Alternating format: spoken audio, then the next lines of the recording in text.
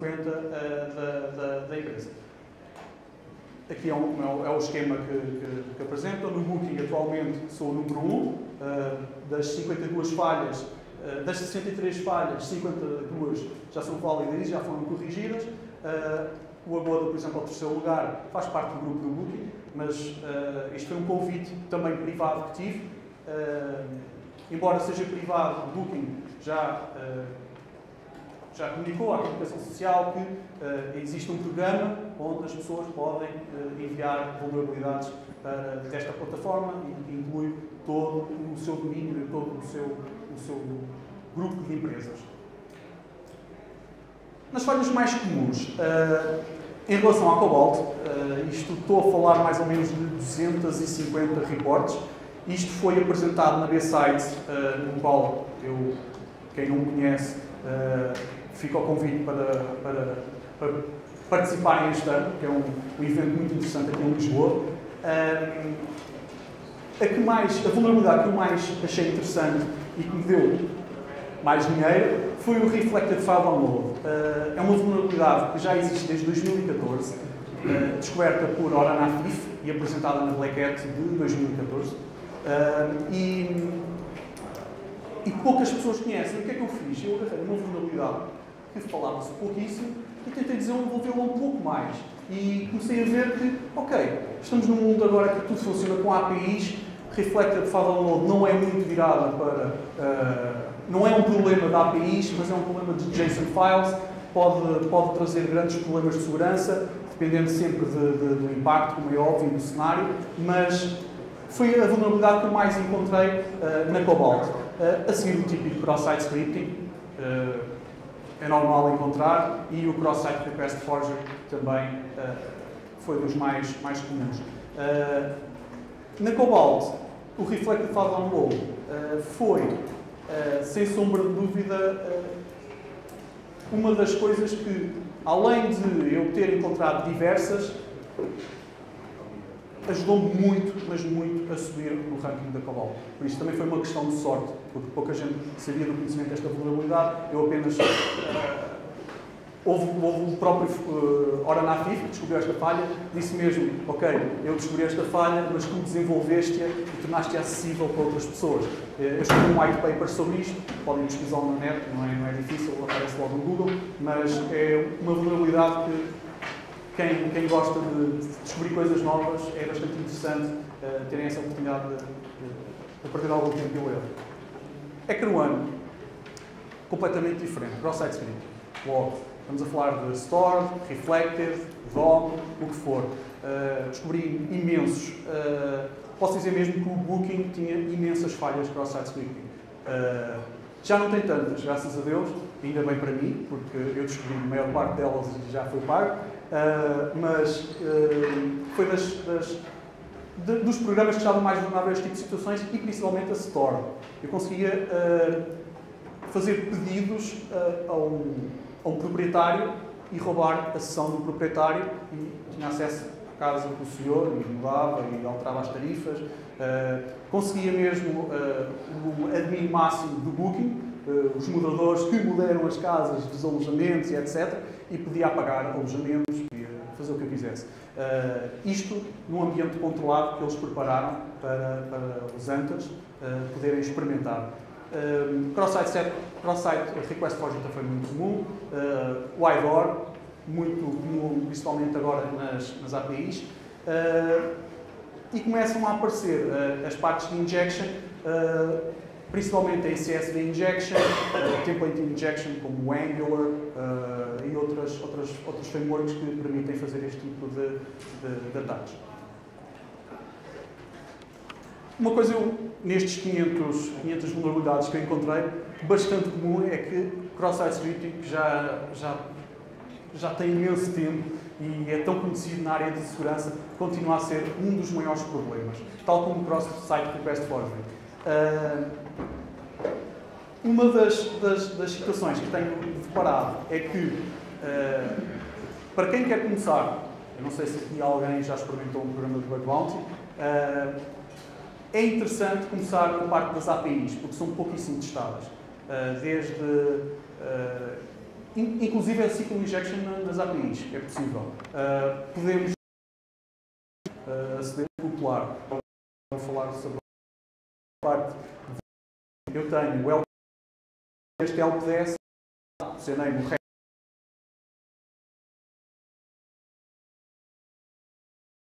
o programa de ajuda do Departamento de Defesa norte-americano, que decidiu criar um programa de bounty e pagava a quem encontrasse vulnerabilidades no Pentágono. Quem é que não quer? É? Isto é um sonho para qualquer bug bounty ou researcher ou script kiddie, hacker, ou queiram chamar. e então deu um mês, na Hacker One, em que podiam testar uma, um grande número de sites pertencentes ao Departamento de Defesa. Foi uma iniciativa bastante interessante, teve um feedback fantástico. Eles tinham pagamentos entre 100 uh, da mais, uh, para vulnerabilidades mais baixas e 15 mil para as mais graves. Uh, nas primeiras 6 horas tiveram imensos reportes, inundaram os moderadores do, do, do Hacker One com, com, vulnerabilidades no Pentágono. Uh, tiveram um grande número de participantes, é óbvio, quem é que não queria participar? Uh, para cada research mínima de 100 cana proteger sites uh, pertencentes ao, ao, Pentágono é, sem dúvida, uma. Uh, receber, disseram: não, não, isto não é, tipo, isto não é um RC, vocês não conseguem fazer nada com isto. Uh, e pediram mais dados. Uh, e então ele mostrou mesmo os dados do servidor uh, e conseguiu mesmo root, o acesso máximo ao servidor de alojamento do Pentágono e disse: Ok, o livro está aqui. querem mais? E eles: Ok, tens razão, ficam parados por aqui, vamos ter mais problemas. E então acho que ficou provado. E acontece muito isto. por vezes, se um researcher ou um hunter não comprovar algumas das situações ou for mal explicado uh, a vulnerabilidade, poderá ter de surgir uh, algo mais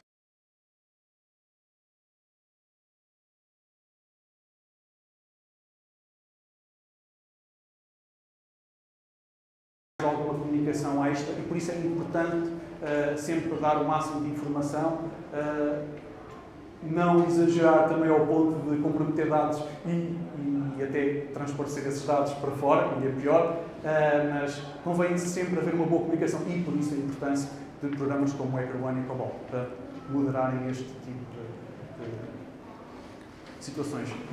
Eu não ligo muito a política, atenção, uh, eu gostei muito foi da imagem, uh, porque após a, o, programa que foi feito, o Act the Pentagon, a direção de Trump decidiu que vai continuar a manter o programa de Bug Bounty Uh, eu achei o pormenor e até sublinhei porque baixa os valores uh, de custo e se mantém os sites mais seguros. Bom, é óbvio, claro.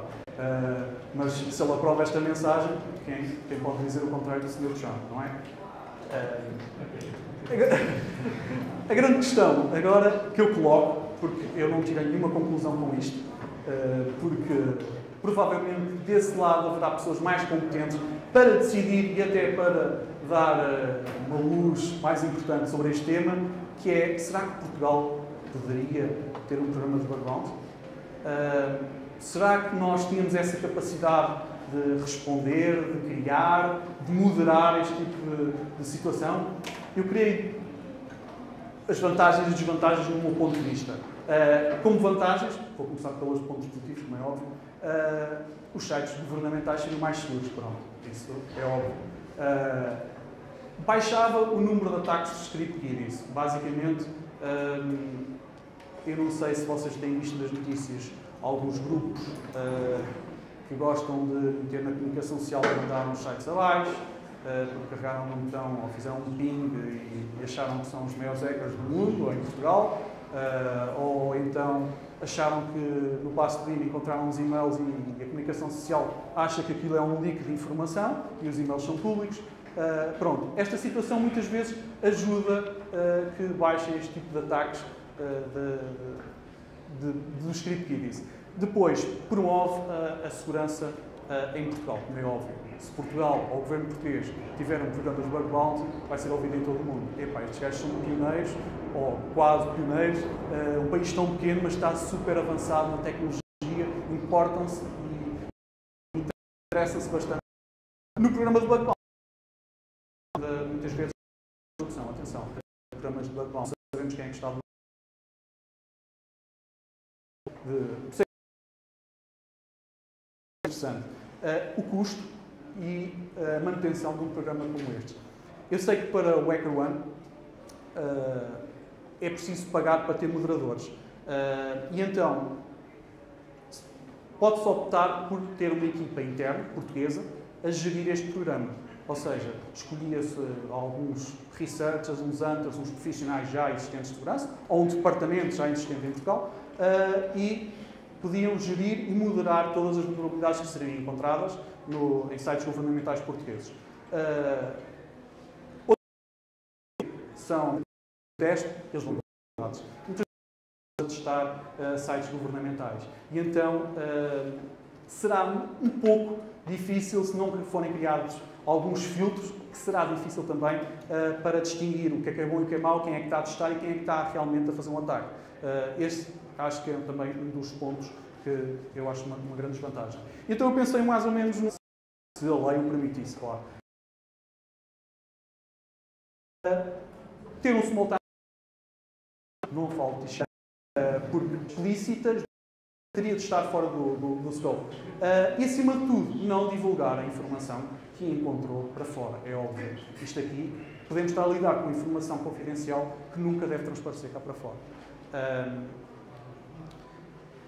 e é, é, mais ou menos isto que eu tinha para, para vos explicar. Eu espero que tenham tido algumas luzes do que é o bug bounty, um bocado também a diferença entre o pen testing e, e este tipo de, de, programas de apreciação de bugs. Uh, e fica a questão: será que Portugal poderá ter um programa de bug bounty? Seu?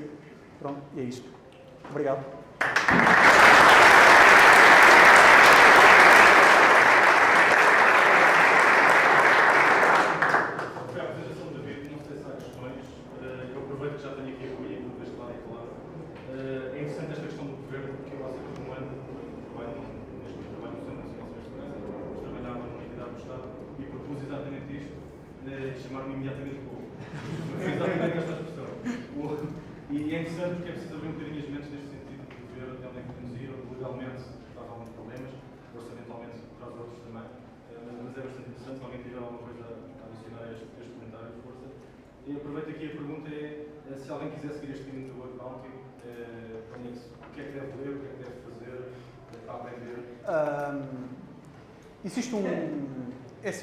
Difícil, uh, assim, uma palavra, uma, uma, uma, uma, resposta rápida, porque é preciso muita dedicação, tempo.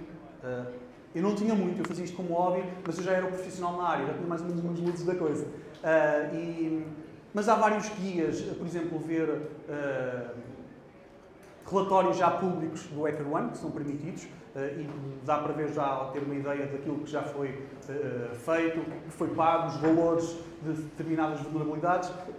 E, e, é um livro muito bom, que é um, acho que até online, custa 9,99 de Hours, uh, que, que é tipo uma compilação de todas os, vulnerabilidades que foram reportadas para o público e, e, ele faz sempre uma explicação, uma introdução de cada tipo de vulnerabilidade e eu recomendo essa leitura. É o autor.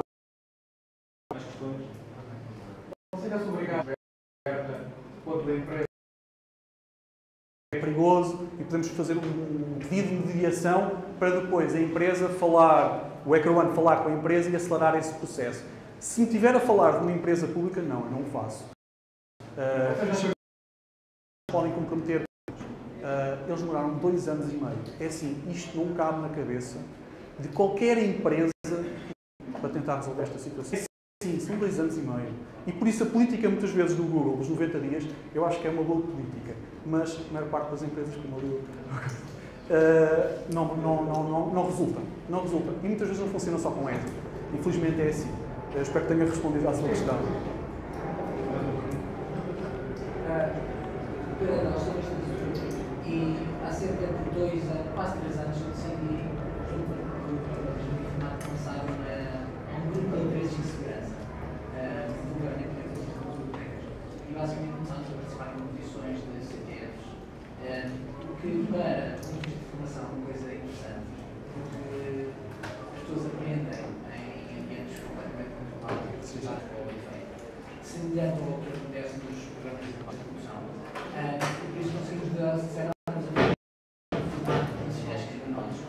Bom, isso é um problema que acontece em tudo, não é? Se, É. Então também não temos a ensinar ninguém a espalmar porque pode andar. É igual. Pronto, por isso acho que aí há depois componente de informação fora que tem de ser usada, não é? É que, pronto, no ambiente universitário consigo melhorar a disciplina, Ah, mas na verdade, na verdade, a maior parte destas coisas ah, estão muito demonstração que é Sim, não é? sim. Não é o caso da maior parte das questões que é certo, também normalmente são publicadas nestes programas, Claro. mas tem que ser isto é possível de fazer de uma forma responsável ah, e acho que o, o medo é mais um medo igual, o medo industrial, ah, Sim, erradas. Uh, eu acho que aos poucos a mentalidade vai mudando um bocado no nosso país, principalmente com a ajuda de vários eventos, tal como este que mencionei, uh, para as pessoas uh, perceberem um bocado que, que isto é uma área que tem que crescer. Somos um país pequeno, mas temos muito talento, muito talento. Vocês não fazem a mínima ideia da quantidade de researchers que há uh, em Portugal e a trabalhar lá fora uh, que são respeitados por, por- por grandes empresas. Isso é importante, também estamos a representar o nosso país, não é? E isso. uh, e já que fica o convite no CTF, se costumas, a B-Sites costuma fazer um CTF, Sim, sim. pronto, fica o convite. É, é complicado utilizar todos os são mais perguntas? Então, essa oportunidade. Obrigado. Ok.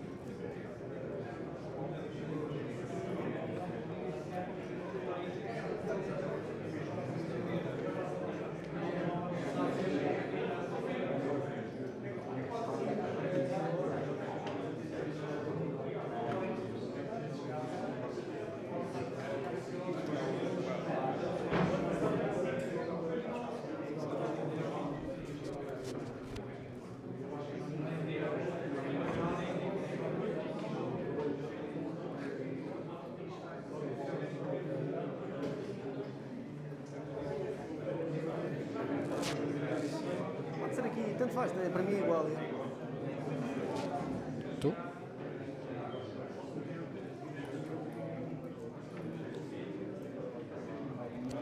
É melhor tirar isto na naturalidade,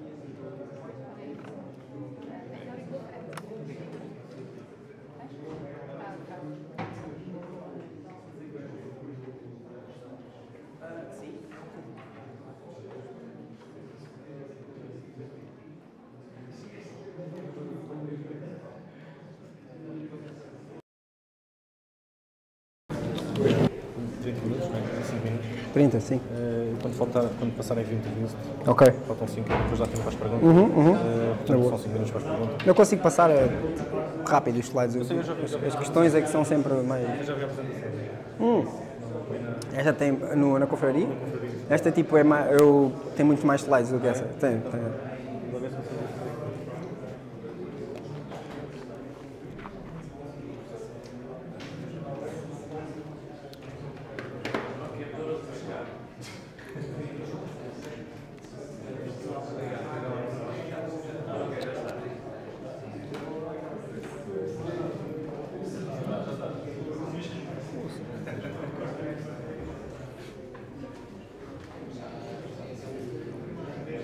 Fica mais escuro, não?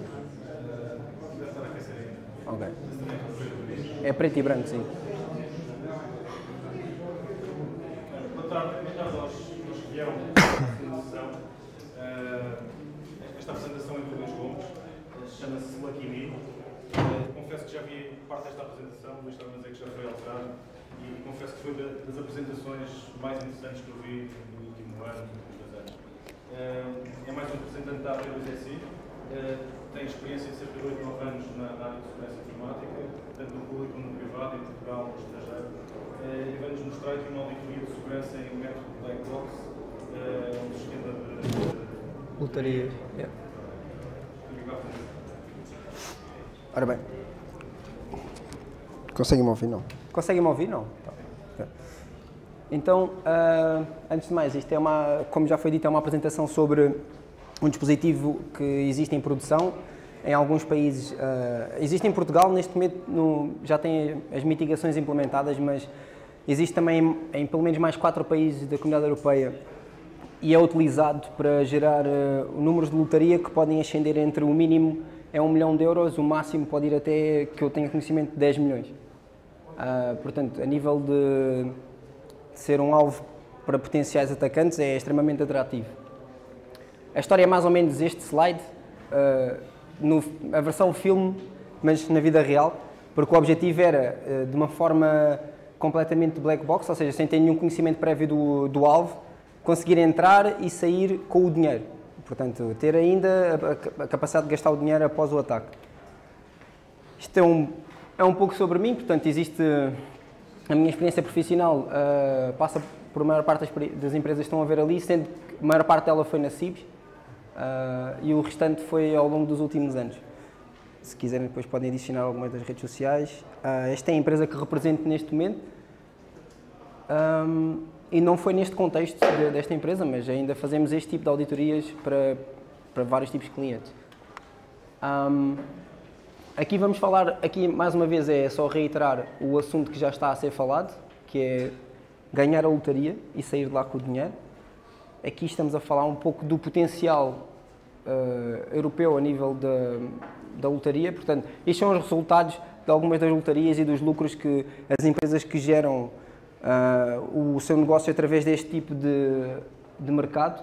E no caso da, da Camelot, que é a detentora do mercado no- na UK, há de ser 5,5 bilhões. Ah, neste é da, da Holanda. Reparem que são os países onde existe o dispositivo que eu, que eu vou testar. Ah, e neste tipo de lucros, uma parte interessante é que nunca é considerada a segurança como o fator primordial. É sempre ou entra no fim ou entra após existir algum tipo de problema ah, a nível da segurança, claro. Se já aconteceu, provavelmente. Ah, neste momento, nós vamos ver o auditoria ser feita do princípio ao fim, mas isto é alguns ataques que já foram feitos ah, a lotarias no mundo todo. Ah, alguns já, já tiveram alguns lucros avultados, outros provavelmente é difícil, porque é uma, é uma é um negócio que já é muito antigo. É difícil eh, neste momento ter uma previsão do que é que já foi feito a nível de ataques, mas ah, a Camelot estima que exista um risco de negócio próximo dos 30% do valor anual, o que é bastante, visto que é 5,5 bilhões ahm, o valor total que eles, que eles conseguem gerar anualmente. Ah, o alvo já foi falado. Eu não, não estou autorizado a mostrar o dispositivo, mas ao longo do. Mas vamos ver ecrãs e ao longo do- da apresentação vão conseguir identificar ah, fatores únicos que vão perceber qual é que é o dispositivo. Exato. As únicas ahm, informações que eu tinha é que este dispositivo que eu ia testar tinha um prémio na ordem de um milhão de euros e que existia num local público com acesso uh, à extração do sorteio. Ou seja, aquele dispositivo estava exatamente numa sala igual a esta, uh, alguns por baixo desta mesa, ou talvez ali, ligado por cabo de rede, e que eu podia ter acesso àquela sala pelo menos duas vezes por semana, que era quando existiam os sorteios. Uh, exato, isto era o prize money. O local era, era muito parecido com este, sendo que este é onde existe a extração de lutarino atualmente. Um, o meu primeiro problema aqui seria qual é que era a forma que eu conseguia ter acesso à rede. Portanto, eu aqui ainda não tinha minimamente a noção de como é que era sequer o dispositivo fisicamente, não sabia se era um, se era um computador, se era um device pequenino, se era, não tinha qualquer tipo de informação. Uh, portanto, só tinha duas formas de imaginar uma comunicação saudável entre o dispositivo e a representação uh, no, no ecrã principal do número premiado e só podia, só podia ter acesso de, através do cabo de rede ou através do Wi-Fi. Uh, neste caso, até foi através do cabo de rede, mas uh, podia ter sido por, por cabo de, podia ter sido por Wi-Fi, porque também tinha redes abertas naquele mesmo sítio.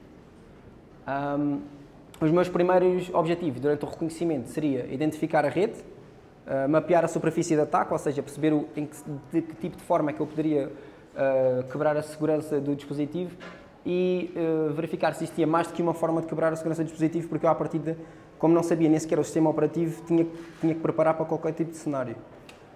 Uh, este foi o meu primeiro scan. Quando liguei o cabo de rede, fiz um scan à rede toda, todos os dispositivos estavam dentro da rede. O meu primeiro scan, as partes mais interessantes que eu consegui perceber foi que existiam portas altas que o Nmap, que neste caso era a ferramenta que eu estava a utilizar, não conseguia perceber o que, é que era, mas estavam filtered. Mas as, as portas abertas, no caso a 55.801, corria algum tipo de serviço uh, em, com SSL, mas eu não sabia que tipo de serviço é que era. Até, neste momento não sabia. Mais tarde vamos ter conhecimento do que é que se passava lá. Uh, estas portas altas eram as únicas portas que eu conseguia ver, tanto algum tipo, para, as únicas que estavam abertas, uh, que me interessava, porque as outras eram portas standard do sistema operativo Windows. Um, mas uma coisa que eu tirei logo foi a informação do certificado, que estava aqui, e mais à frente vamos perceber porque é que era útil, porque na fase de reconhecimento é muito importante, até os pequenos detalhes que podem parecer eh, ridículos, guardar todo o tipo de informação que fosse possível. Uh, para alguém que perceba de encriptação, também se calhar esta parte de ter o SSL V2 supported não era muito inteligente, mas uh, esta foi a minha, o meu primeiro passo inicial depois de estar dentro da rede. Corri, obviamente, o Nessus, porque era importante, porque acho que é gostava de ter um pouco mais de informação sobre o alvo. No entanto, uh, eu costumo dizer que depois daqui já não há nada para fazer. Que hoje em dia a maior parte de, de, das auditorias que nós conhecemos são baseadas em dois tipos ou três tipos de ferramentas e é isso que entregam aos clientes, sendo que é deixado de parte o fator primordial que é a capacidade de analisar uma, uma vulnerabilidade do lado de um atacante uh, que tem todo o tempo do mundo para atacar a vossa estrutura e que ele não se vai limitar a duas ferramentas de certeza absoluta. Porque ele não, ele não tem tempo, ou seja, não, não tem um budget eh, orçamentado de 5 dias para fazer, para fazer um assessment. É, é, basicamente até conseguir quebrar a segurança. Uma das coisas que eu reparei neste momento foi que o, R, o RDP estava exposto e este era a, a, eh, o meu resultado da fase inicial. Ou seja, eu sabia qual é que era o dispositivo. A primeira coisa que eu pensei foi qual é que será a parte mais fácil, e isto sou eu a tentar transportar-vos para a minha mentalidade naquele momento.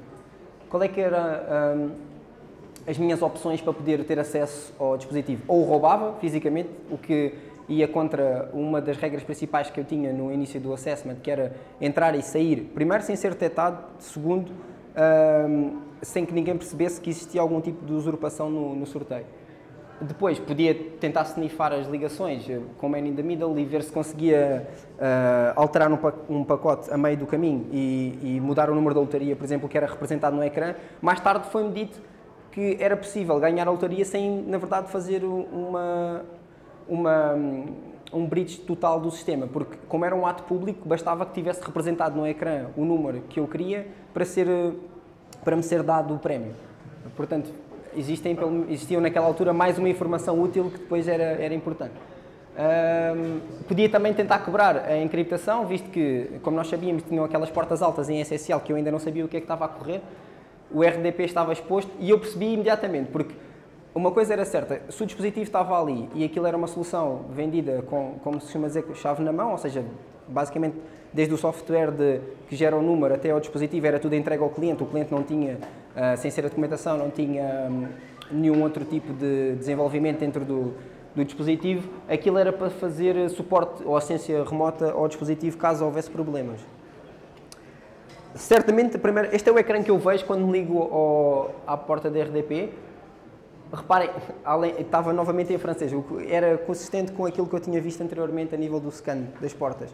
Uh, a primeira coisa que eu pensei foi, se eu vou tentar fazer aqui um, um ataque de força bruta, era uma, ter uma ferramenta que me permitisse fazer os ataques de força bruta, neste caso dei dois exemplos, e a outra era uma word list francesa. Uh, porque fazia sentido, visto que o sistema operativo e tudo o resto estava em francês, a, a partir da se o cliente, não fiz, o cliente tivesse feito uma customização do, do device, tinha pelo menos tido o cuidado de primeiro tirar o administrador e segundo de verificar se, se existe a possibilidade ou não de fazer ataques de força bruta bem sucedidos com ferramentas de lockout e etc. Uh, o curioso neste, neste fator é a primeira coisa que vocês pensam quando funcionam a nível de um RDP é a password foi de certeza pensada. E foi, neste caso foi pensada. Como é que foi pensada? Alguém pensou que quando criou. Isto é um exemplo, porque eu não, não consigo pôr o ecrã específico que aparece, mas alguém deve ter aparecido um ecrã a dizer: Tem a certeza que quer o administrador sem password. E o que é que ele fez? Sim, senhora, eu quero sem administrador. Portanto, ele tinha que ter a certeza que não queria uma palavra passe.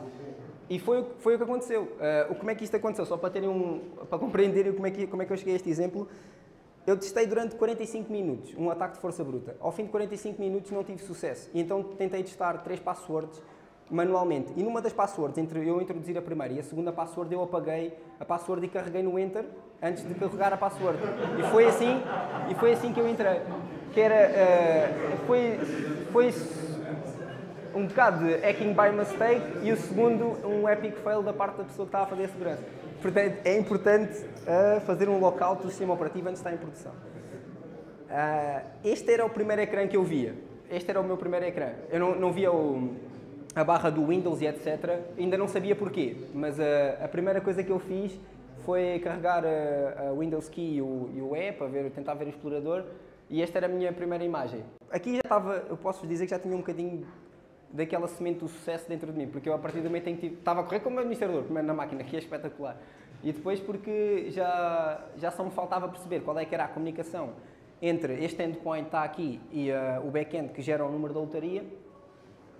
Essa era a parte que eu tinha ainda um bocado de receio, porque não sabia como é que era feita a comunicação, mas pelo menos já tinha acesso a isto. Uh, se eu soubesse nesta altura que bastava representar um número no ecrã, provavelmente terminava aqui. Mas, uh, mas ainda não era agora. Então, o que é que acontecia? Exato, foi este, esta a minha, foi a cara que eu fiz quando, quando eu, fui estudar o flow de comunicações. O flow de comunicações, uh, utilizei o R-Sharp para tentar perceber o que é que acontecia à meio. Entretanto, depois também comecei a fazer R poisoning para perceber se haviam mais dispositivos na rede a fazer o mesmo tipo de comunicação. E uh, era, era fácil de perceber que existiam dois, um era o de produção, que era onde eu estava, e havia um teste. O nome era similar, imaginem, era como se fosse dispositivo 1, uh, dispositivo de lotaria 1 e dispositivo de lotaria 2 e depois falavam sempre com o mesmo IP, que era no caso o back-end, e era sempre comunicações. Eu não conseguia perceber o que é que lá estava, porque estavam encriptados, mas era naquelas portas mais altas. Um, eu, eu, até aqui ainda não, não fazia a mínima ideia de. porque aquilo era um executável, não era um. Não posso dizer, não era uma ferramenta, era mesmo um executável, portanto eu não sabia de que forma é que o executável comunicava com, a, com o back-end então, o que é que eu podia fazer? Tinha que explorar o executável e perceber qual é que era a comunicação, de que forma é que ele efetuava a comunicação. Então, uh, fui fazer... Isto é, isto é o Wireshark atrás, eu tentar perceber as comunicações. Eu não vos mostro por causa do Job Security, of course, mas uh, aqui atrás eu abri um debugger para tentar perceber em que momento é que, em que a comunicação era iniciada com o back-end e de que forma é que era feita. Uh, eu, quando fui ver as strings no, no, no executável, reparei que havia uma sequência interessante de de strings, que era uh, o server SSL estava ready e depois havia o server address e se vocês forem seguir ali por cima tinha ready, server address, porta, false, depois tinha um, um endereço e depois em baixo tinha uma string e depois dizia connection, etc, etc, etc. Eu quando vejo a string, a string era muito parecida com uma password, para vos ter uma certeza. E eu achei muito estranho tipo, ter uma string logo a seguir à conexão da SSL, portanto falava em certificados, eu fiquei a pensar, será que é um... Aliás, foi esta, este, exatamente este, este quiz que eu fiz a mim mesmo. Era uma password do back-end, era a private key para o SSL, para, para o certificado cliente que eles estavam a usar, ou era só uma string. Podia ser só uma string ou alguma coisa que eles tivessem a usar, talvez um, uma coisa de suporte. Curiosamente, e isto é um, este é o e-mail que eu enviei à empresa que produziu o dispositivo após a auditoria, porque eu queria ter uma, alguma coisa factual da parte deles que confirmasse as minhas suspeitas que eu tinha, que eu tinha conseguido uh, usurpar durante a auditoria. Portanto, a resposta deles é, vocês vão reparar, só para terem ideia, reparem naquele último D, e aquele é um R, a primeira, a primeira letra, mas é um último D. E eu perguntei-lhes onde é que estavam os certificados que eles usavam para comunicar para a SSL e, e eles disseram, os certificados estão na pasta X e a password é aquela. Portanto, aquilo era a password do certificado de cliente que eles estavam a usar quando queriam instalar. Eu, eu, a primeira pergunta que eu coloco é tipo, quem é que usa logo a password hard-coded no executável? Isso era tipo impensável. A password era a mesma password, eles só emitiram um set de certificados e era sempre a mesma private key, era mesmo, sempre a mesma. O que, é, o que quer dizer que durante o design da solução alguém fez questão de falhar nesta parte da segurança. Portanto, não havia um set de keys para cada, para cada certificado. Ou seja, vamos todos, é sempre a mesma password para todos os certificados, o que me deu automaticamente uh, a ideia de, ok, vamos instalar o certificado noutra máquina e tentar perceber uh, se eu consigo chegar até ao back-end. Instalei o certificado, como podem ver ali, uh, e este era o back-end ele não pedia password nem nada. A partir do momento em que o cliente tivesse o, aquele certificado, tivesse instalado na máquina, ele, ele, faz, ele requeria o certificado, abria a sua ligação e isto era o primeiro ecrã que vocês viram. Este não tinha outro tipo de ecrã. Quando chegavam ao IP do back-end, este era o único ecrã que vocês tinham. Mais uma vez, não havia o conceito de perfis. Portanto, ou entrava como administrador ou entrava como administrador. Não havia tipo. Não havia uma segunda opção. Uh, continuando, porque isto é, é, um, é um, ciclo catastrófico de erros seguidos. Mas uh, eu, neste momento, eu não, como vocês sabem, era um teste black box, eu não tinha melhor conhecimento de como é que funcionava a plataforma. Portanto, da minha parte, eu não sei como é que se geram números, não sei como é que os números são, como é que é a nível de logs, como é que é possível gerar um número e não ser uh, identificado como uh, um, um sorteio ad hoc. Eu não tinha nenhum tipo de informação. Então, o que é que eu fiz? Fiquei à escuta durante. Criei, fui ver os, servers, os service logs, e basicamente a única coisa que eu estava a fazer era ver estes cheiros que vocês estão, estão aqui. Estava a ver o que é que acontecia, qual é que era o processo e tentava identificar nos menus uh, os nomes, a ver se foram parecidos ou não, para tentar perceber qual é que é o processo do, do sorteio. O que eu identifiquei foi que existia, a primeira coisa que tinha que ser feita, que o programa perguntava porque estava nulo, era as regras. Eu presumo que as regras sejam usadas hoje em dia para definir populações, do género. Imaginem que vocês vendem uh, eh, 7 milhões de tickets para aquela lotaria, mas por acaso identificaram que havia havia um erro e tinham que eliminar daquele, daquele sorteio um milhão. E desse um milhão pode ir para as regras. Podem dizer tipo, valem todos menos estes. E, e identificam com expressões lógicas qual é o, o range ou o, especificamente o, o bilhete que vocês querem eliminar da, do sorteio. Uh, no entanto, depois de eu perceber isso, existia um problema muito maior, que existe uma, uma fase do sorteio, que é, o sorteio só é válido após o júri classificar o sorteio como válido. O que uh, limita imenso o trabalho de uma pessoa, no caso o atacante, o hacker, porque é um fator humano que tem que ser ultrapassado. Porque ele tem que, aparece-lhe um pop-up com todas as, as, regras e com todos os um, fatores do sorteio que têm que ser uh, analisados. E, e, neste caso, o número já está gerado. Ele seleciona o número e diz: Ok, o processo foi válido e carrega OK. Só aí é que é validado. Uh, eu aqui ainda não sabia, porque se eu mudasse o número durante. Se eu chegasse a esta parte e alterasse ali, não nas regras, porque as regras nunca são vistas, mas se eu alterasse durante o sorteio o número, ele percebia logo que tinha sido uma falha. Se eu, se eu, se eu alterasse o que lhe aparecia no ecrã, alguém ia reparar nos logs. Portanto, aqui tinha algum problema. Até que eu percebi que, na verdade, a única coisa que eles faziam sempre skip era as regras de exclusão. E aqui é só um processo de lógica. Portanto, a única coisa que eles nunca tinham pensado, e eu, cheguei a fazer esta pergunta aos developers da solução, eles nunca equacionaram que alguém dissesse que uh, nos, na, na, em vez de ser nas regras inválidas, nas regras válidas, que alguém dissesse assim: são todos inválidos, menos o meu número. Nunca ninguém se lembrou que isso podia ser uma opção, porque logicamente ninguém faz isso. Tipo, isso era manipular o sorteio de uma forma maligna. Foi, e esta foi a frase, ele disse não era um bug, era uma feature. Era uma feature, atenção. E eu disse, oh, espetáculo. Porque uma coisa que eu descobri ao longo de tantas auditorias é, às vezes, Alguém já criou uma feature para fazer exatamente aquilo que nós queremos e que a empresa não quer. Mas já existe, essa feature já existe. Só ainda não sabemos. Então, o que é que eu fiz? A primeira coisa toda tinha que jogar, tinha que comprar um, um ticket que tivesse um, um número qualquer. E eu escolhi, uh, basicamente foi, foi o, que, o que me deram, foi este. Tinha aquele valor, esta foi a expressão, uh, e eu esperei que, que existisse o, o, sorteio de testes, que, que, obviamente não podia fazer na produção, senão não estava aqui, estava nas Maldivas. Mas uh, o que interessa é, eu esperei tipo no sorteio de testes, que acontece sempre 6 horas antes, e efetuei o primeiro teste. E o primeiro teste foi, the winning number era o meu, o meu número. Esta altura foi quando eu disse ao meu chefe que havia um problemas sérios. Tipo, porque eu até lá achava que aquilo estava a ser divertido só. Uh... e, e, quando eu cheguei a esta fase, basicamente já era uma, um concretizar de, daquilo que eu tinha feito.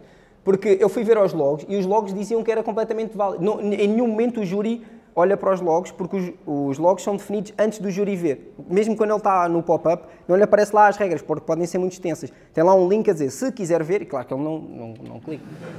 Isso não, isso não acontece. Uh, e, no caso, isto tudo é importante, este ciclo catastrófico que eu vos mostrei, de chegar até um valor tão alto de prémio, porque em nenhum momento vocês viram a segurança aqui como um processo.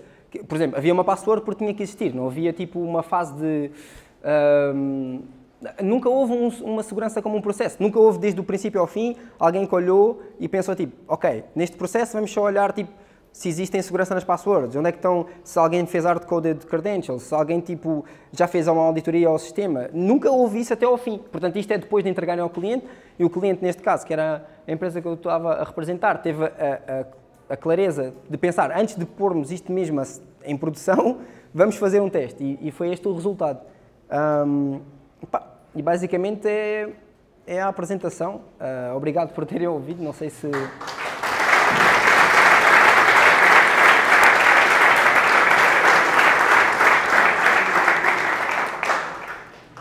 Acho que a pergunta que se impõe é porque é que não estás nas Maldivas?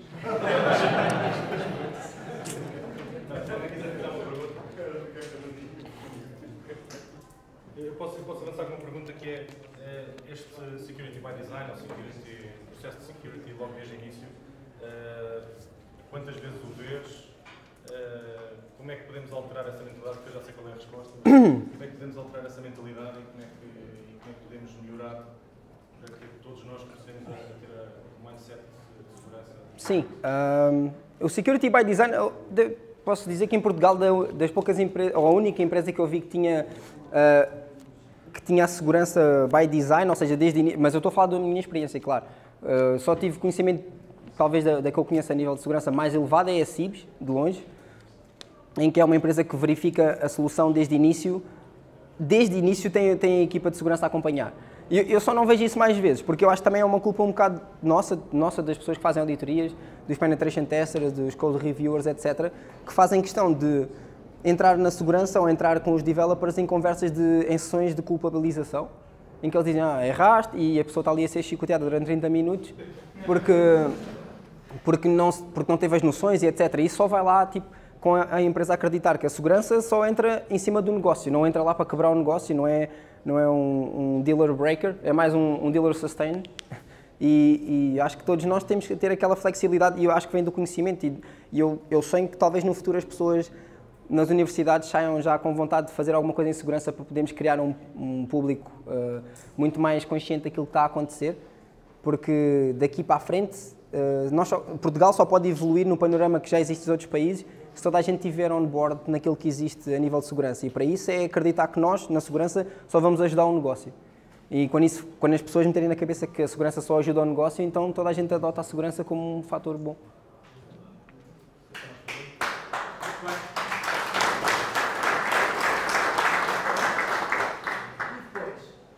Uh, depois demoraram. Uh, demoraram sabe, por acaso essa depois é uma ótima pergunta. Sabe, a primeira, a primeira, o primeiro fix que eles fizeram foi uh, fazer blacklist dos IPs que, estavam a aceder ao back-end. E eu perguntei porque é que não era uma whitelist. Eles disseram porque a blacklist era mais rápida.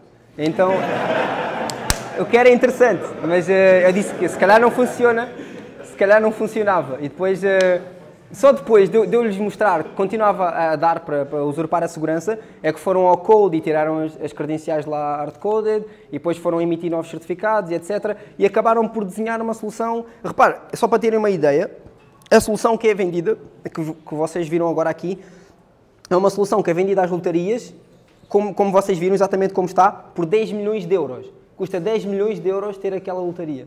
Assim como ela está com o device, a arquitetura, o back-end, são 10 milhões de euros em que nos foi dito que não existe nem alocado nenhum, nenhum por cento do budget para segurança. Portanto, nem os developers, nem os administradores, nem as pessoas que vendem, os sales, nunca ninguém teve conhecimento que se calhar era importante o fator, porque eles presumiam que a empresa que ia fazer qualquer coisa no meio. Mas não, era a solução que estava em erro.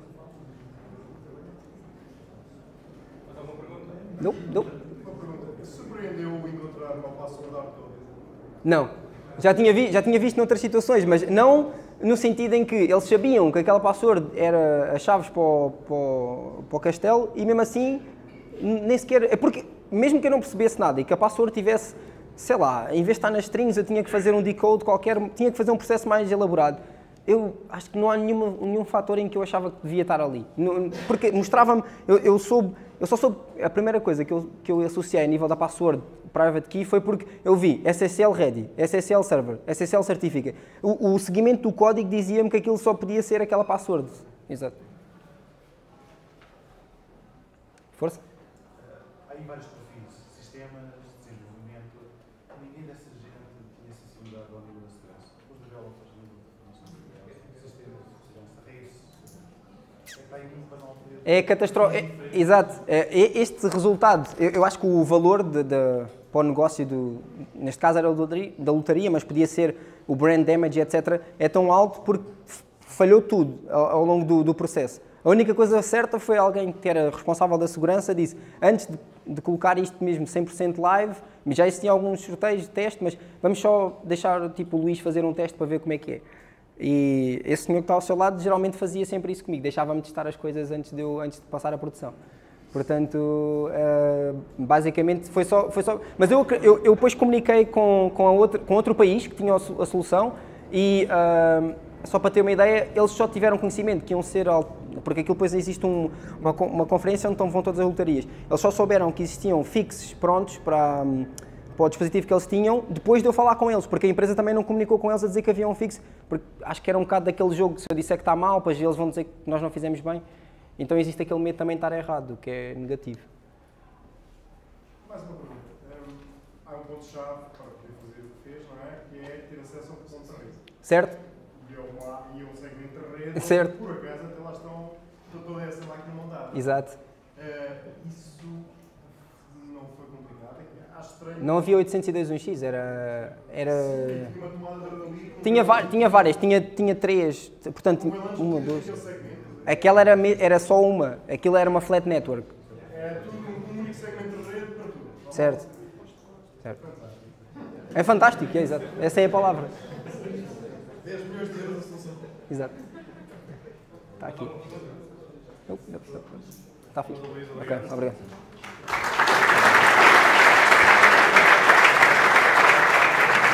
Graças. Foi, foi diferente, não foi? Desta? Foi, foi, foi. Muito fixe, muito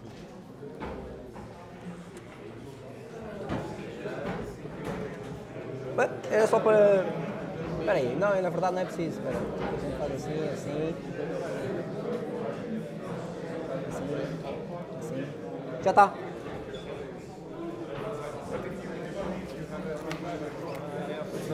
Sim, sim, força.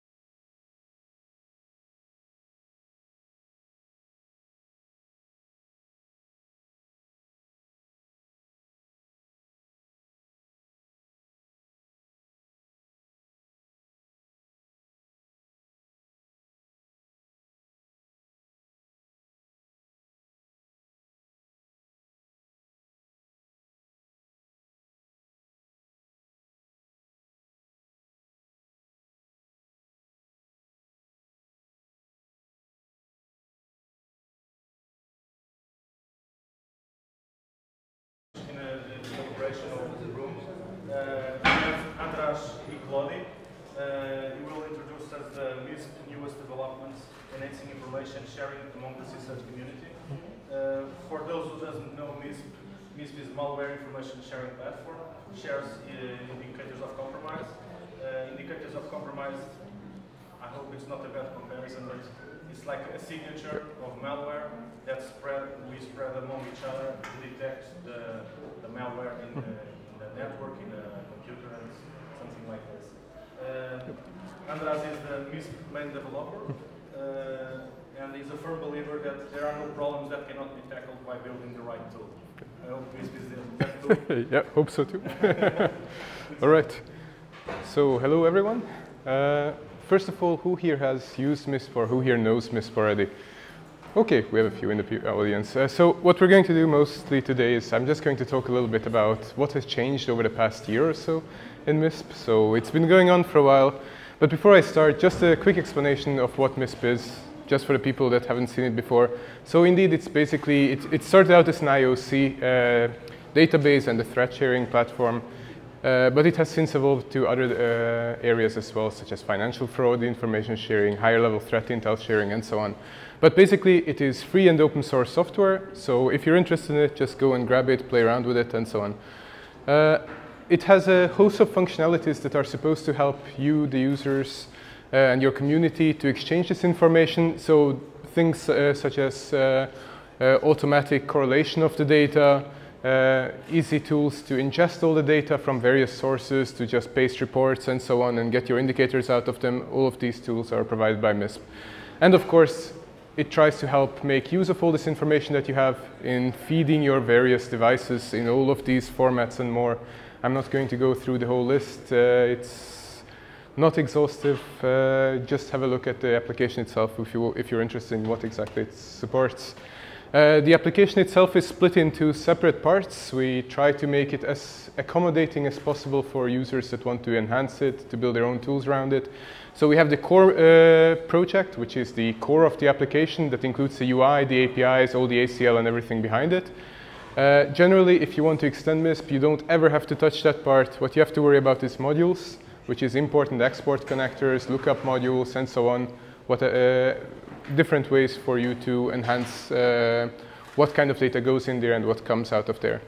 And then we have the taxonomies, warning lists, and galaxies. So these are basically uh, metadata uh, structures that uh, are uh, using a shared repository to feed all this information into MISP. So those are things that you can also extend. For example, uh, taxonomies are ways to describe the data that you already have in there.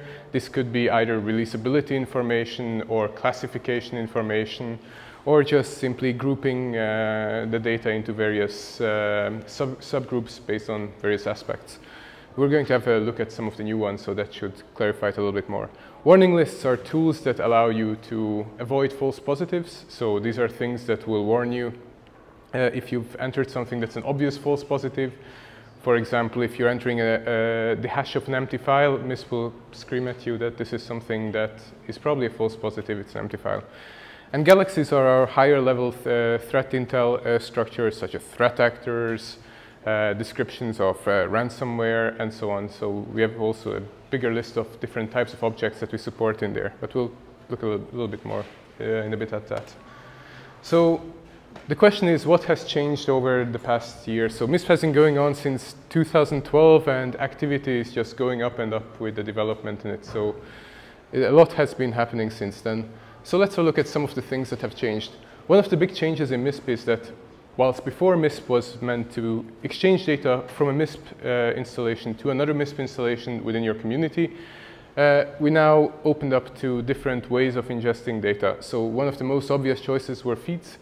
So that means that if you're already subscribing to various paid feeds or if you're using OSINT feeds out there, you can hook them up directly to MISP and it will fetch the data from there and store it in your database. Another thing that we did with that was that we also allowed misformatted data to be shared without MISP to MISP interaction. So if you are uh, producing data, you can directly produce it in a MISP format, exchange it that way, or if you have air-gapped systems that you want to exchange information with, this is uh, actually something that comes up quite often then you can use this system for that. Uh, and one of the, the interesting things with this is that normally when you're ingesting a feed that is out there, it's kind of a black box until you actually handle the data and until you look at it. But what Mist tries to do is, even while you're importing it, you can browse that data in advance. It will consolidate that data into a format that you already know, Mist's own data, before importing it. You can cherry pick the data that you're interested in. You can see correlations without actually getting it into your database and see if this is something valuable to you or not. Uh, and we took this idea and moved it a little bit further recently.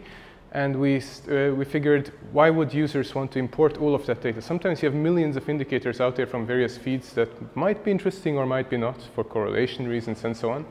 And until now, users had to import it into their MISP. So what we try to do now is we allow the caching of these feeds without directly importing it. So that means that all the values are ripped out of these feeds. They're stored in Redis, and you can do fast lookups against it. So that means that if you have your sane IOC dataset that is curated by your community, you will immediately see that some of that data correlates to data that's out there in these various feeds that you might not want to directly ingest but still want to keep track of. And this brought us to an, another thing, having seen MLSec's uh, presentation on the TIQ test, which compares the various feeds and feed overlaps, and is meant to, be, uh, to allow you to to quantify and to put value on the various feeds compared to one another, so you don't buy black boxes. Uh, we figured this is a very nice idea and we should do something kind of similar. So what we allow to do now is to compare the overlap between the various feeds. So it's a good idea for, uh, to ask for a, a, proof of concept from a feed vendor. Just check it out with feed, cache it, see how it compares to all those OSINT feeds that you're using, and you might find that it's not really worth buying. So I'm very sorry to all the feed providers out there if you're repackaging. If, it's, if you're not, then it's great. so this is what the feed comparison matrix looks like with a few of the feeds loaded. You can see that there are uh, uh, the percentage of overlap between the various feeds. So right now you can see it on top. If you hover over any of those numbers, it corresponds to, the, uh, to a feed from this list.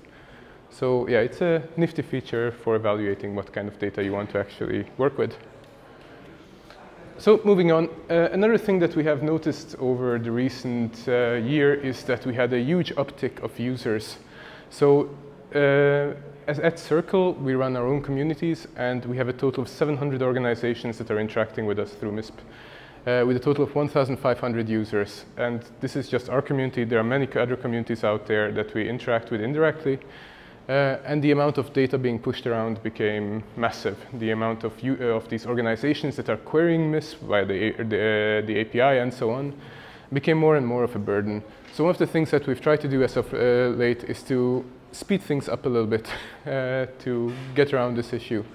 It's a constant challenge of a ver with a very active community out there and especially with things such as this popping up. So this is WannaCry and as you can see, these are just some of the uh, events in MISP that uh, have WannaCry indicators and that are correlating with one another, it's a huge amount of data. And of course, we also had things like this. This is the Grizzly Steppe report correlating to all of the uh, APT28 events out there and to all of the Tor exit nodes up there. That's a different question.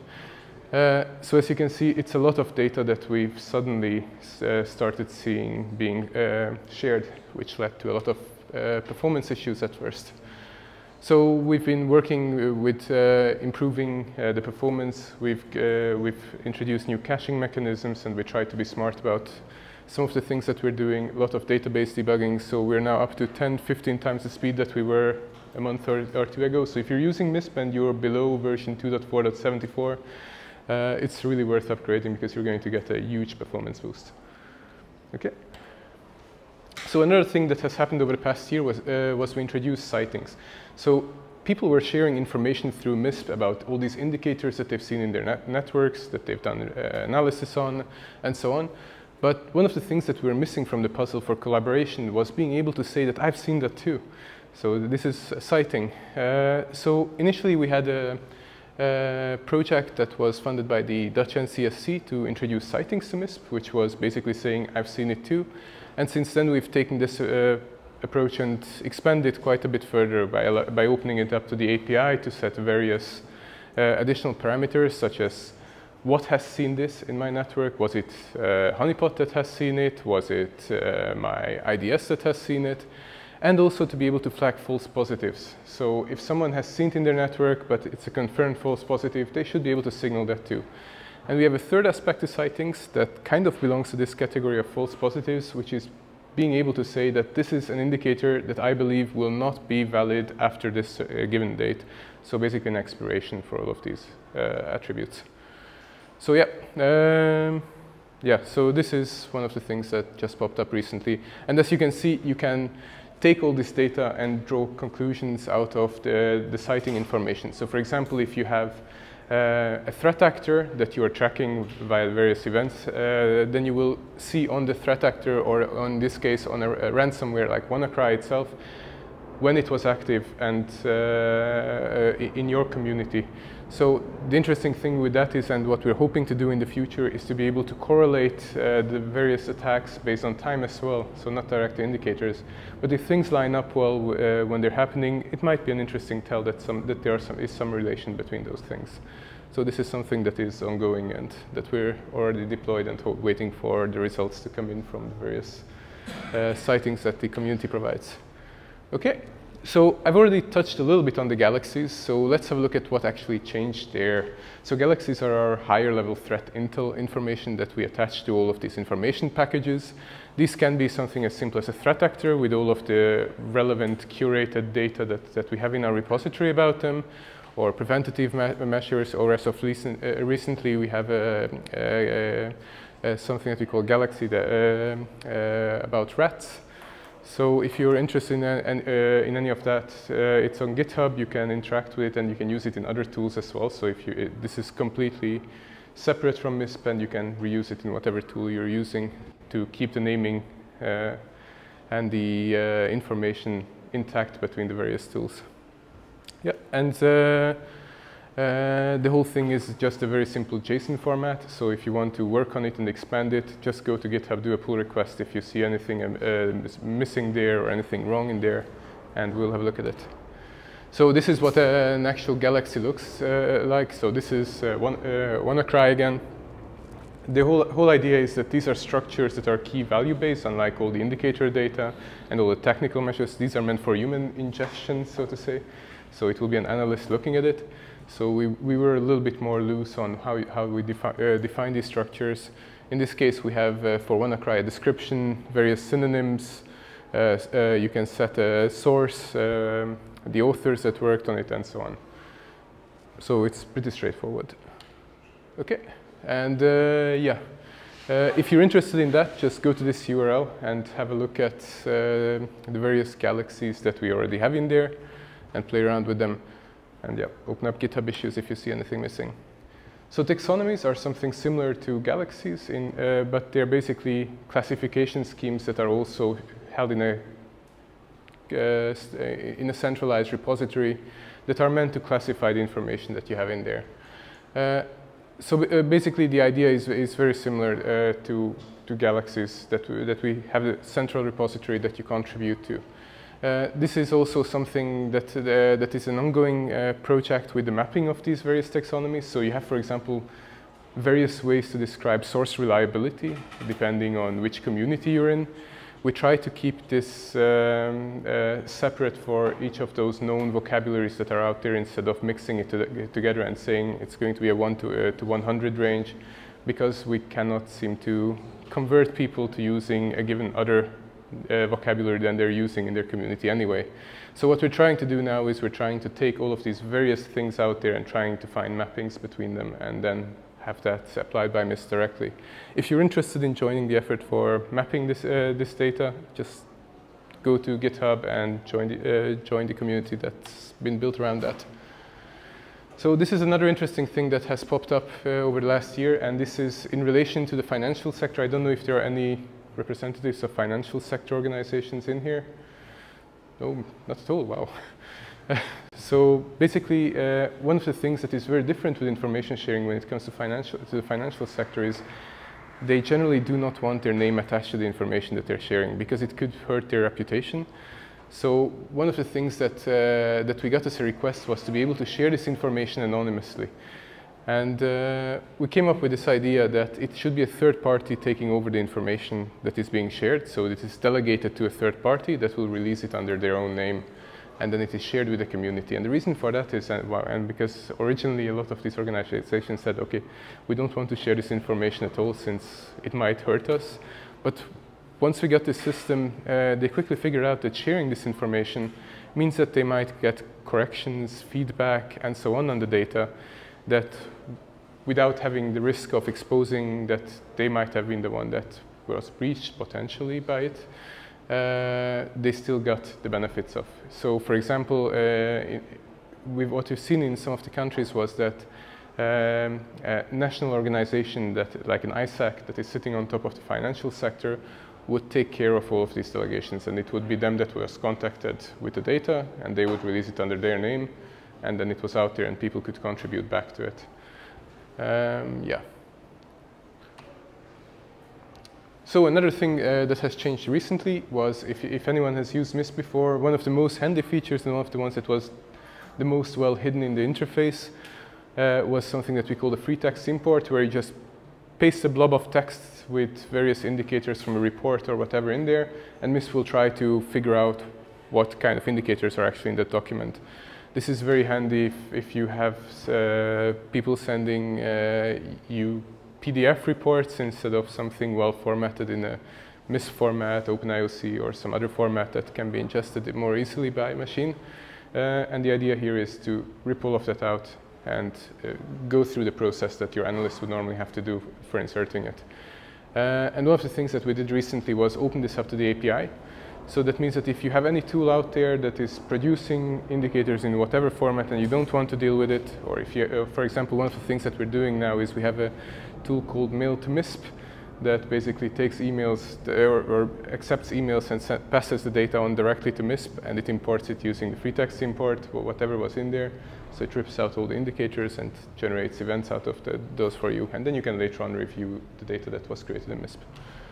Okay, so this is basically what, uh, what we call the, the integration pipeline of MISP looks like.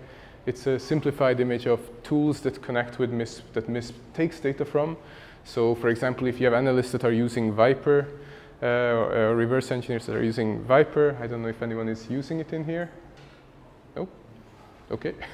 So yeah, basically then you can just directly connect, uh, hook that up to MISP and interact with the data directly uh, and push the results to MISP. Same thing with sandboxes. You, can, uh, you have various integration for Cuckoo Sandbox, Joe Sandbox, and so on, where you can directly push data uh, to MISP uh, from your sandbox results, and so on. Uh, and then we have various tools that deal with taking the data that's already in MISP and enriching it, interacting with it, and on the right side, we have various tools and uh, standards that deal with the data that you have in MISP and taking it to your protective devices and feeding those. So for example, if you, for your IDSs, you can feed them directly with MISP data in Suricata or Snort format or Bro format and so on. Okay. So what has changed here recently was we've teamed up with the Hive project, which uh, for incident response, it, I highly recommend anyone that is using MISP to have a look at it. They do some really cool stuff and they fully integrated uh, the Hive with MISP so you can get data directly into their system from MISP, interact with it, push the data back to MISP. Uh, and, uh, they also have something called Cortex, which they use for enriching the data that they have in MISP. And we had something called MISP modules that did something similar. So we had a hackathon with them where we figured, okay, let's exchange those tools that we have and now you can actually use uh, Cortex directly in MISP and you can use the MISP modules directly in the Hive. So you can make use of all of these uh, enrichment tools uh, by using either of those tools. Another uh, thing that is interesting is if you're doing threat hunting and you want to use MISP as your central database using it together with McAfee Open DXL, McAfee has built integration with that. There is a very nice uh, blog post explaining how it works, which is in this link. Uh, so make sure you have a look at that. It's, it's really nifty. Okay, so going back to the Hive, here is a small diagram of how it all works. So if you have MISP, the Hive, and Cortex, uh, basically uh, the Hive and MISP exchange, uh, uh or, or, or, Hive uses the, the, the MISP uh, event data that is in there, and, and both of those tools uh, can use the Cortex analyzers to enrich the data. Okay. So moving on, another thing that we, we still kind of lacked, even uh, with this split of the MISP core uh, project, the MISP modules and all the JSON formats, was still a way for, uh, for users to inject uh, their own scripts into the whole workflow of MISP. So ingesting data, creating data, enriching data. Uh, and what we figured would be the most sensible thing to do is to use uh, ZeroMQ's PubSub system uh, to take the data that is being published through MISP, so that could be event data, sighting data, user data, even discussions, and directly push it uh, through ZeroMQ to whatever tools are sitting on the same machine and ingesting it. Uh, so yeah, if you're interested in writing scripts for that, it's super easy to use in Python. There is a sample uh, script out there that you can reuse. So you can do whatever with any data that goes in directly in real time this way. Uh, and this was also uh, uh, designed with models such as CSP in mind. So this is something that, that is under discu discussion and that we'll get back to later on that we want to, in to integrate MISP with other tools in a seamless way and just push the data out there locally to all of these other tools. And if you have any other um, uh, ideas on, uh, on, uh, on how, how this design would fit into your community's model, it's super easy to implement it for yourself. Okay, so this is what has happened recently. So let's talk a little bit about what is going to happen soon in MISP or what is underway. So one of the biggest things that's been coming for, uh, to MISP for a while, and it's hopefully out very soon, is the uh, what we call MISP objects. So one of the things that we've noticed was that MISP has a very flat structure when it comes to the indicators.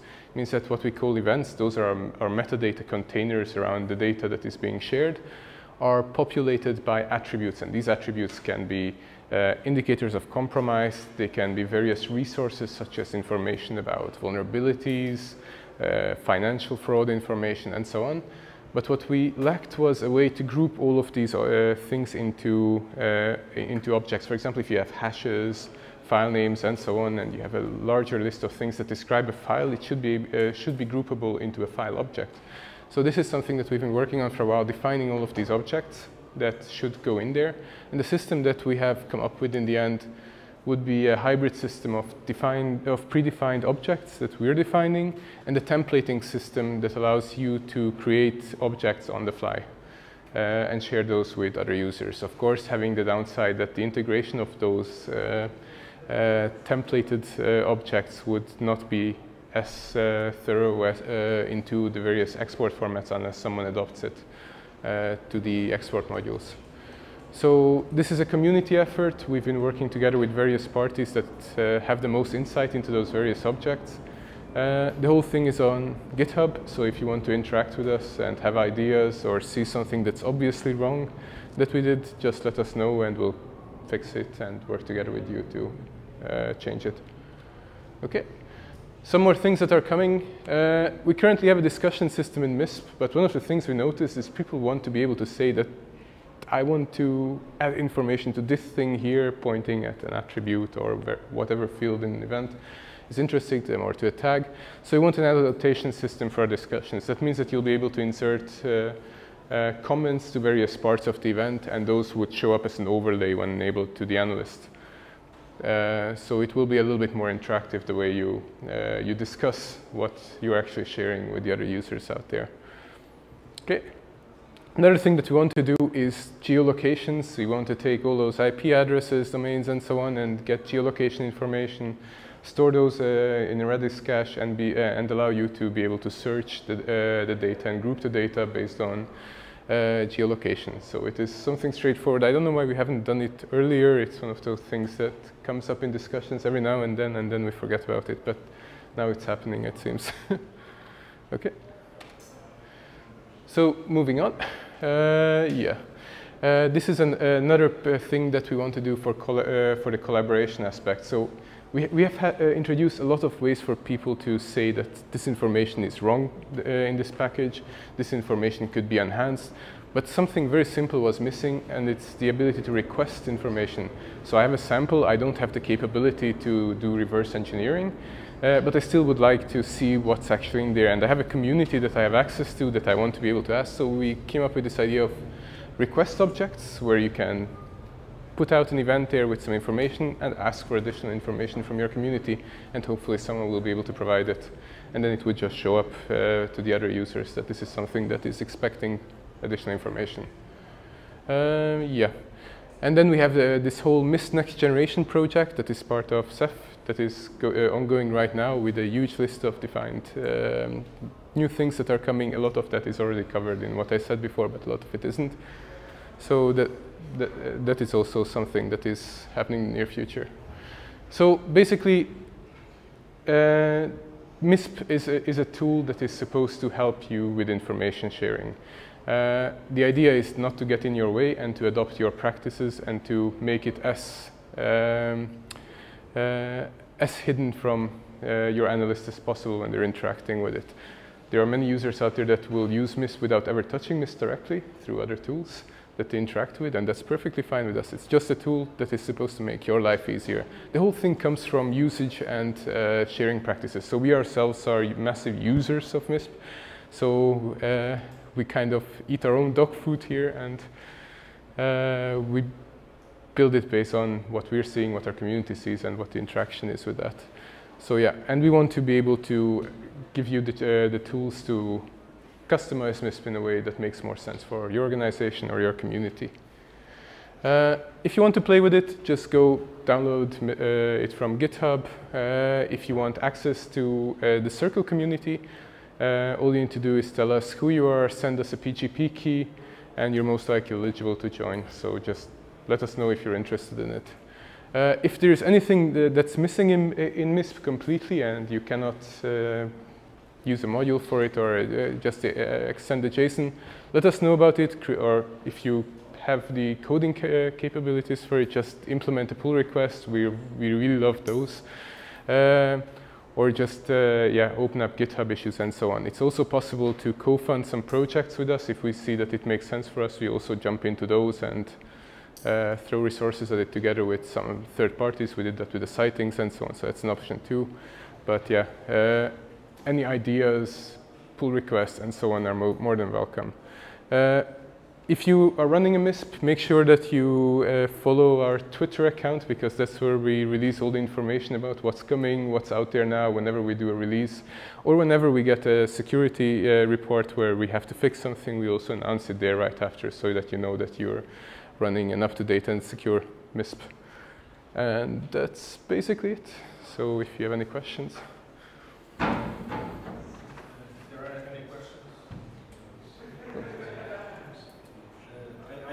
Okay. Uh, MISP is uh, mm -hmm. by far the mm -hmm.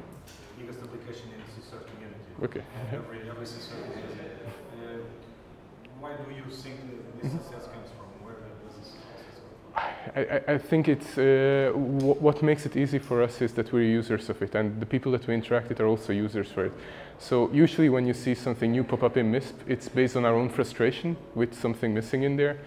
So that makes it very, very natural for us to extend it in a way that makes sense for the CSIRT community. So yeah. Are there any more questions? So. Okay. All right.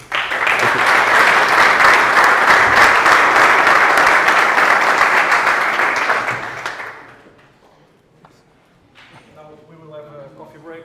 In uh, half an hour we'll have another session. Wow. yeah, I'll just throw this in there. Thank you.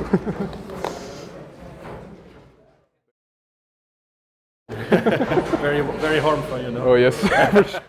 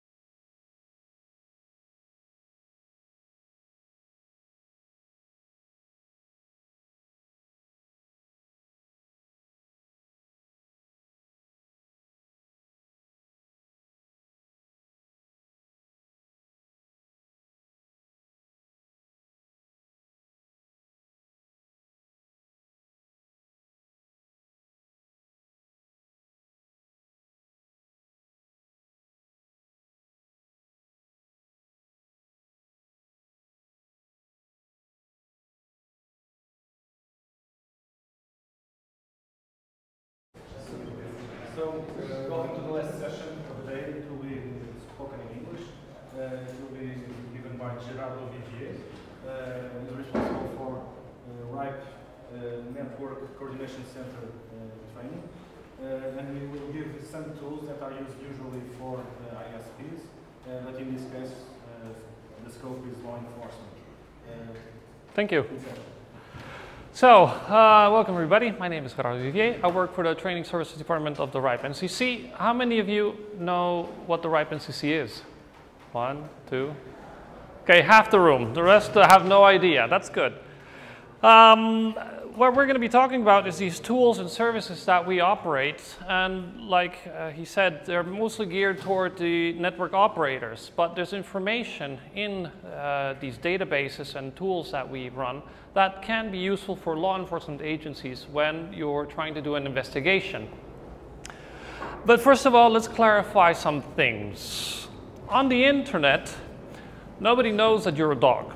Actually, on the internet, everybody is just a virtual thing. Uh, the internet is just a series of machines that are connected to each other and they're exchanging packets and information. So what you can find in uh, the data and in the services and tools that we operate is just information of these machines that are exchanging packets over the whole internet. Uh, what we're going to try to do today is show you that you can try to find these machines, or at least we're going to give you somewhere to start to look for these machines. And once you've found them, once you found where the device or the network is located, you can try to find who is operating these devices or networks. So who we are, we're the RIPE uh, Network Coordination Center. RIPE is actually a short thing for Réseau IP Européen.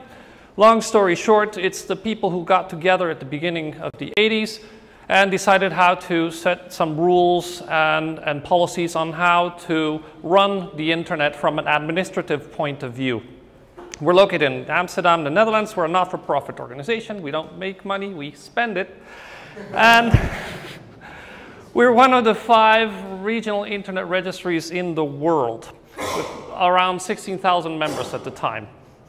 What we do is distribute IPv4, IPv6, and AS numbers.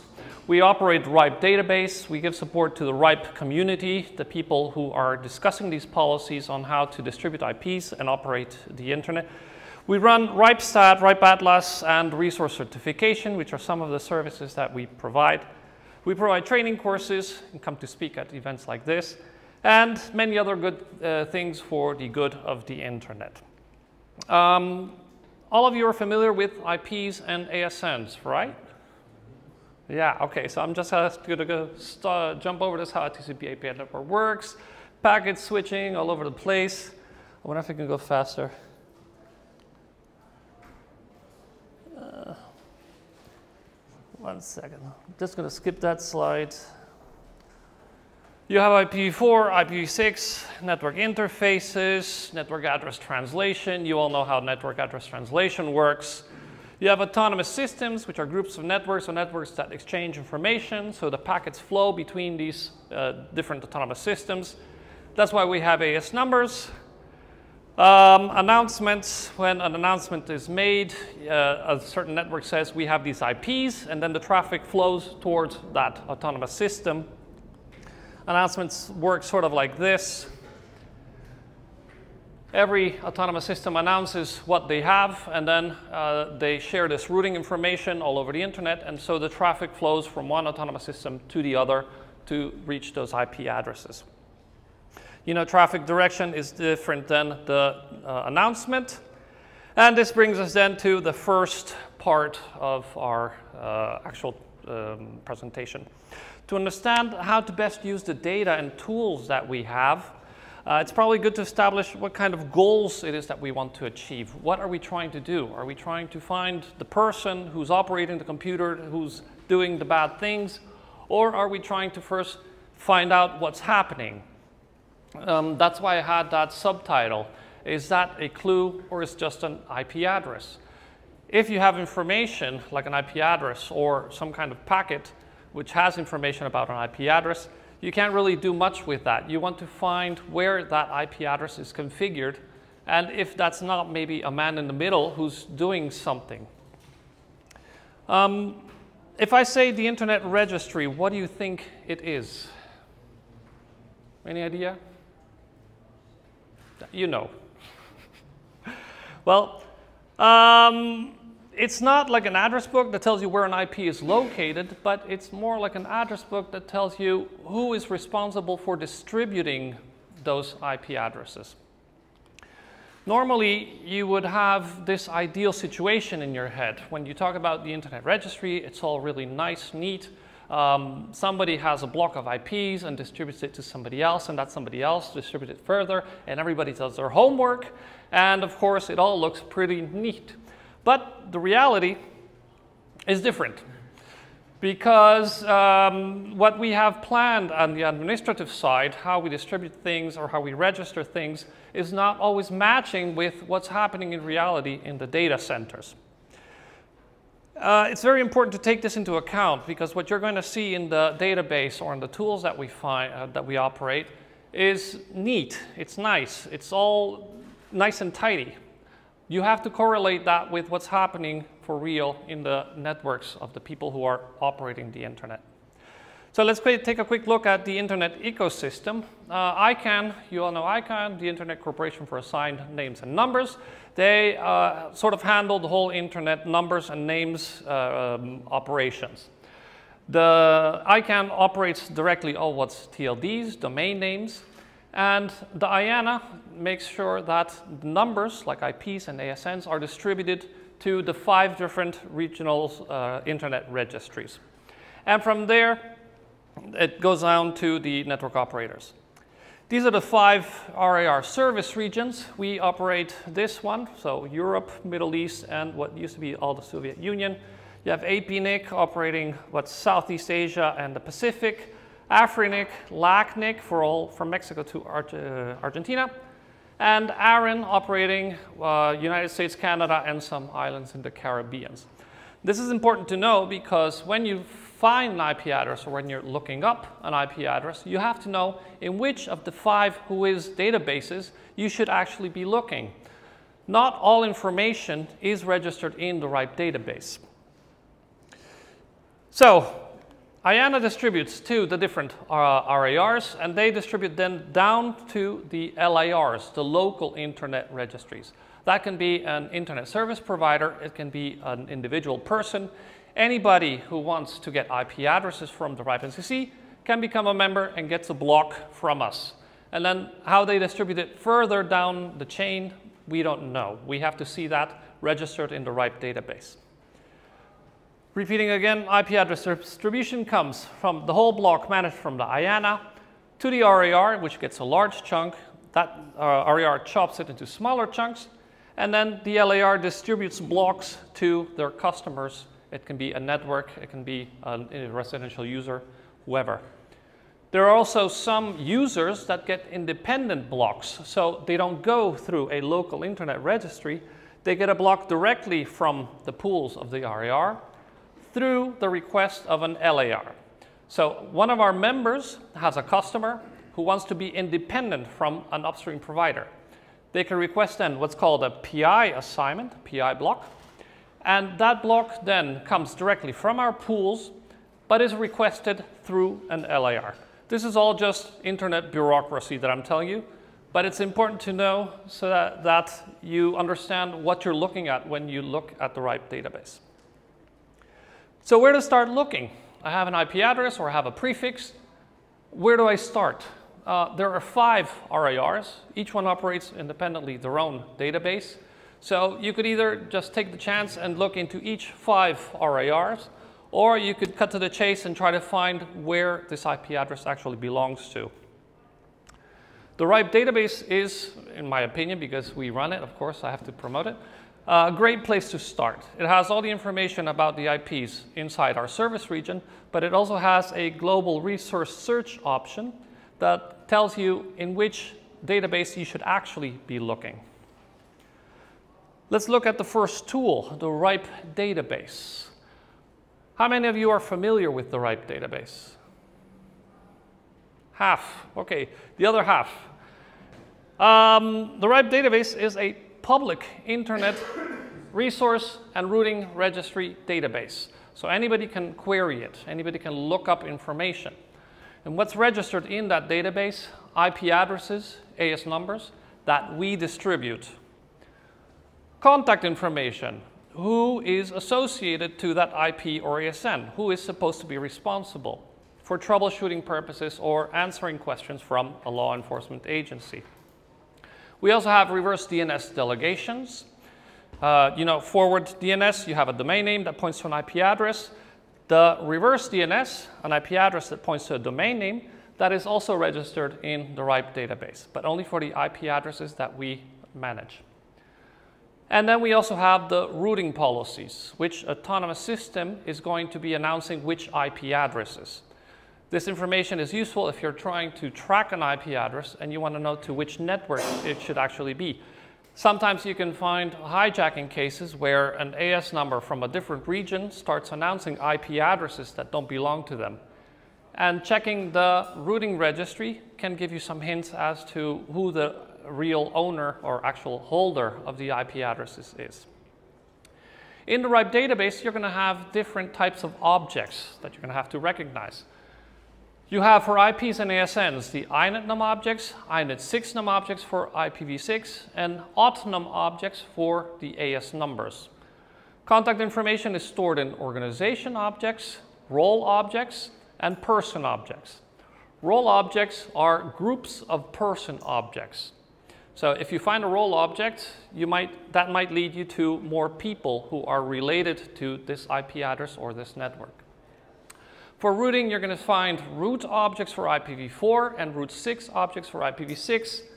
Domain objects register the reverse DNS delegations. It has nothing to do with a domain name like www.ripe.net. And for protection of objects, you have the maintainer. Because it's a public database and anybody would be able to put information or remove information, there's a security mechanism that's uh, called the maintainer object and it works like a lock on top of the other objects. Sometimes it's interesting to know who created an object, so who operates a maintainer, in order to find out if they're not related to other blocks of IP addresses. So if you find a network which is suspicious and you see a maintainer, you might want to look up that maintainer to see if they're not related to other networks which might be suspicious. Objects are just lines of text and they are split in two parts. The attributes part and the values part. The attributes part uh, has at, uh, tags or fields, like in any database object, and the field sort of indicates what the value means. So if I have here a person object, and in the person attribute I see Pierre Malcolm, this means that this object is representing the person Pierre Malcolm. Objects have uh, attributes that are mandatory, they have to be there, and there are attributes that are optional. So you won't find all the attributes in every single object.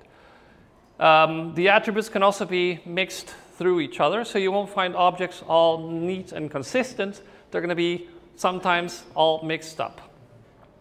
The values can be uh, text with a certain format. For example, a telephone number will always have the same format, plus um, country code, area code, and then telephone number. Email addresses will also have always the same format, but for the rest, it's all free text. There is no rule that an address has to be written in a certain way. It just has to be an address, and you can either shorten it like uh, ST for street or AV for avenue, or you can write the whole word, avenue or street. Other attributes point to certain values which are actually the unique identifier of another object. And this is useful for relating objects to each other. Most of the objects uh, will have one or more lookup keys.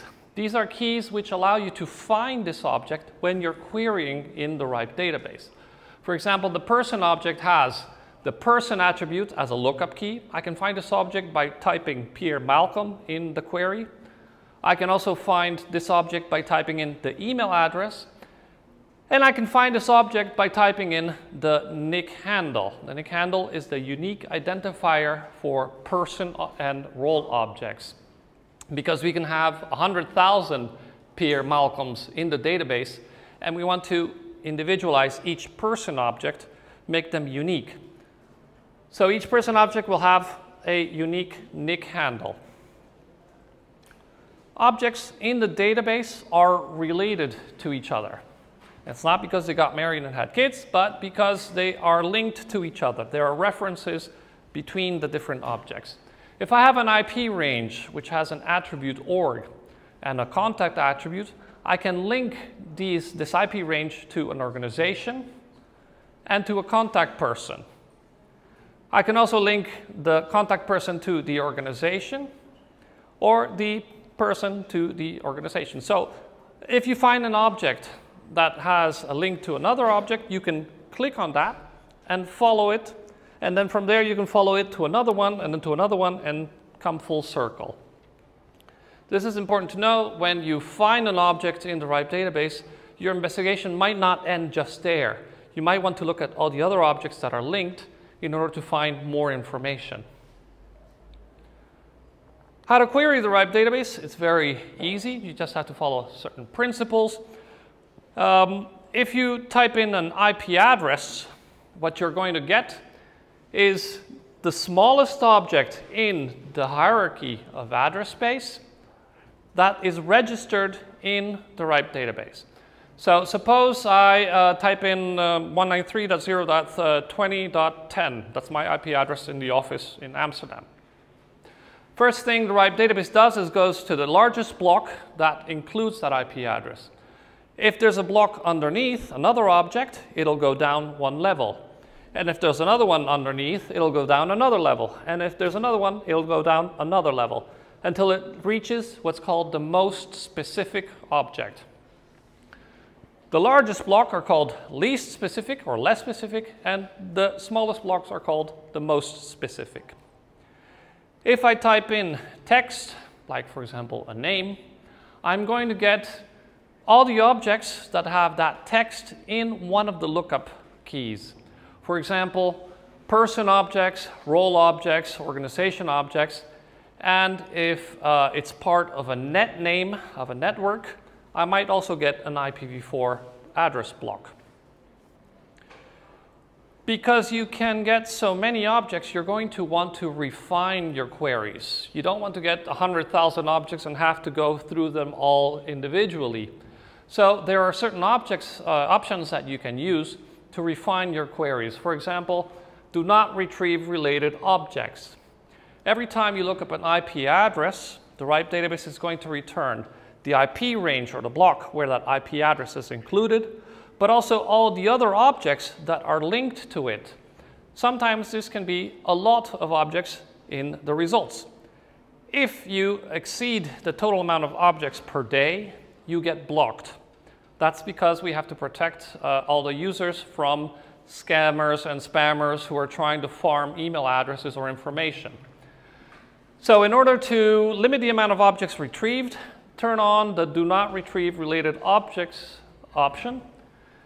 And uh, you can also choose, for example, the types of objects that you want in the query results. Instead of person objects or organization objects, you might want just only the IPv4 network objects, the INET nums.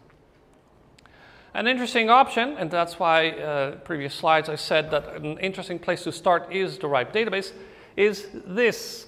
Search resource objects in all available databases. The RIPE NCC runs the GRS, which is the Global Resources Service.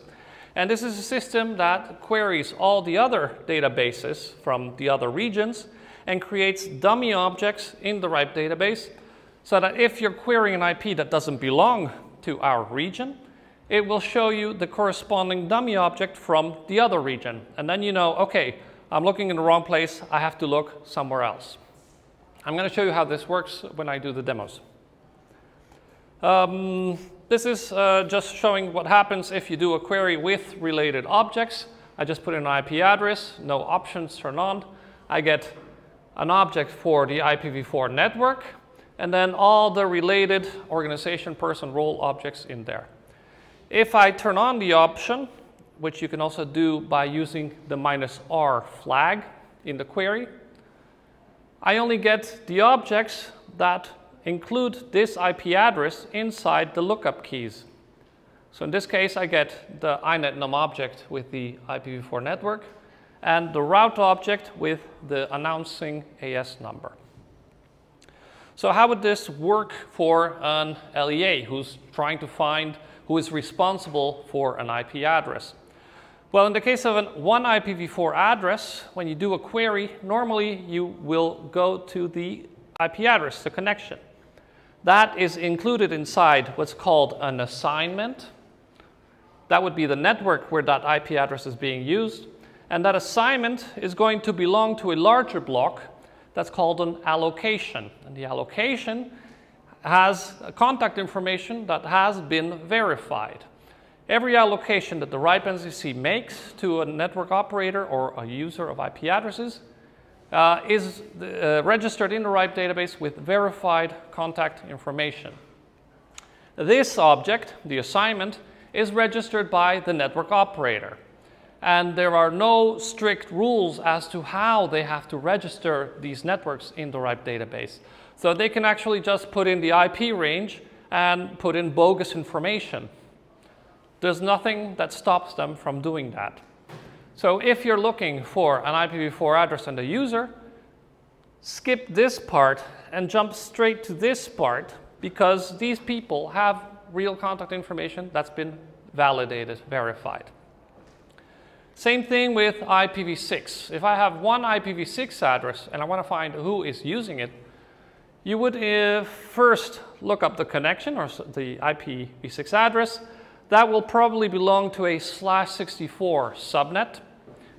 That slash 64 subnet will probably belong to a larger assignment. Uh, normally for homes users, you would uh, give a slash 56 IPv6 assignment or a slash 48 IPv6 assignment. From that assignment, then you probably want to go to the allocation again, which has validated, verified contact information. Besides, the holder of the allocation is the organization that first distributed that IP address or that block of IP addresses down the chain. So they should know to whom they have given it. If I have here this bottle of water, which I will in a second take a drink, and I give it to him, um, and then he just walks away. And then you want to know who has this bottle of water. Who do you ask? The person that gave the bottle of water away, me. so our recommendation is when you're looking for an IP uh, uh, address or the user IP of an IP address, um, it's faster if you talk to the person or the organization that distributed this IP address or block of IP addresses in the first place because they know where it landed. If they made a sub-allocation, for example, a sub-block, sub-partition, and they gave it to somebody else, and this person started distributing on their own, the person who first distributed the block does not know what's happening down the chain of distribution. Let's repeat that. You have an IP address, you will follow it to the assignment. The assignment will go to the allocation. The allocation will point to an organization object, and the organization object will point to a role and probably multiple person objects. This information is verified. You can probably try contacting what's registered here, but you might be wasting valuable time. When it's, we're talking about uh, networks that, uh, or people who are doing something bad on the internet, usually they'll try to tr um, remove their tracks as fast as possible. They'll try to disappear as fast as possible. That we cannot keep in the RIPE database all the time, or we cannot verify if that information is registered correctly. But this information we can. So if you cut to the chase, cut to this part of the investigation, you'll win time before you actually get some answer from these people. Let's do a little series of demos. I'm going to switch to my browser. I have here a couple of IPs.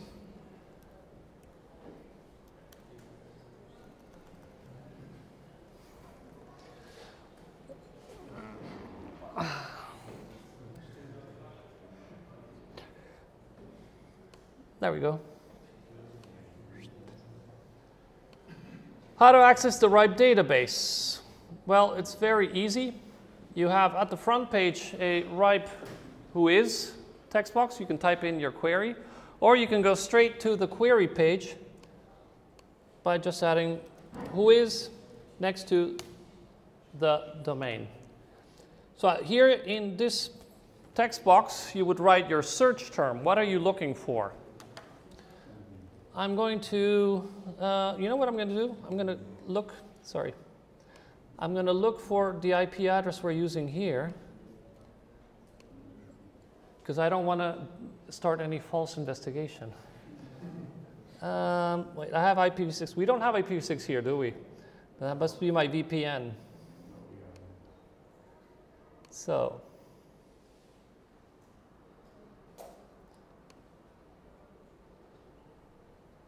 I don't have an IP or it's taking some time to load.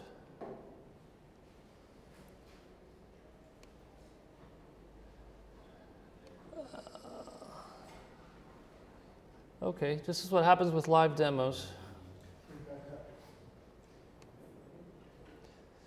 Do I actually have internet?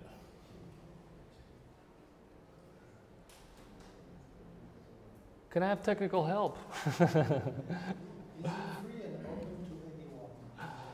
The RIPE database is open to everybody for querying. Anybody can go to this website and start a query.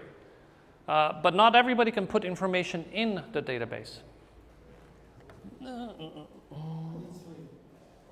Well, it seems that I'm supposed to be on the internet. One second. You know what? I'll go back to my VPN and I'll just use my examples.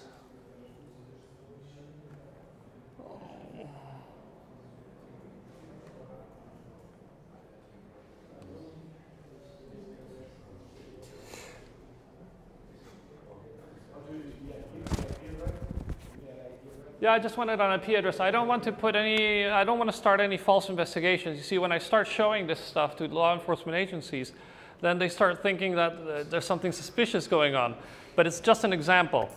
So as long as we remember this is an example, there's nothing wrong going on with these IP addresses, I'll use my own examples, okay?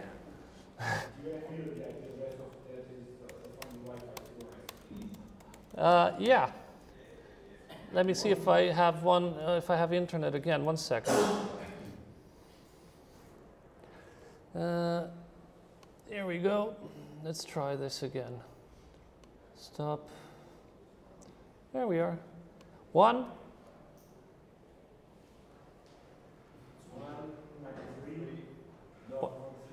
One three? No, one nine three. One nine three? Dot one three six. Yeah. Dot ninety eight. Yeah. 25. That's it, right? So we see this is one IP address that's registered to this range. Let's try to make it bigger. And I can find some information already here. It says the status is assigned PA, so this is an assignment. Somebody who has a larger block gave this block to this network, the University of Lisboa. They even put a secondary description, Instituto Superior de Ciencias Sociales eh, y eh, pol Políticas. Sorry, I don't speak Portuguese. My apologies. It says here country PT, geolocation. So somebody has done their homework and they've registered this information very neatly. Anybody who tries to look up this IP address will find this geolocation information. And so they can uh, try to look in this place. But what you have, what you're seeing here is made by a person. It's registered by a person. It means that there's a will. Somebody wanted to register this information in this way. If this matches reality or not, you cannot know until you start investigating further. So what you're going to find in the RIPE database is somewhere to begin. Where do you go when you get an IP address? You want to find where it's being used. this is a great place to start. An object derived database means that somebody took the time to register it. It was last modified in March of 2017. That means that this is quite fresh information. Somebody uh, did an update in uh, March. Uh, it does say here that it was created in 1994 and it was split. So you have here some more administrative information. Where did this IP address come from? Which this block came from? But let's look at some other IP addresses. Uh, oh yeah, I wanted to show you also the options. Sorry?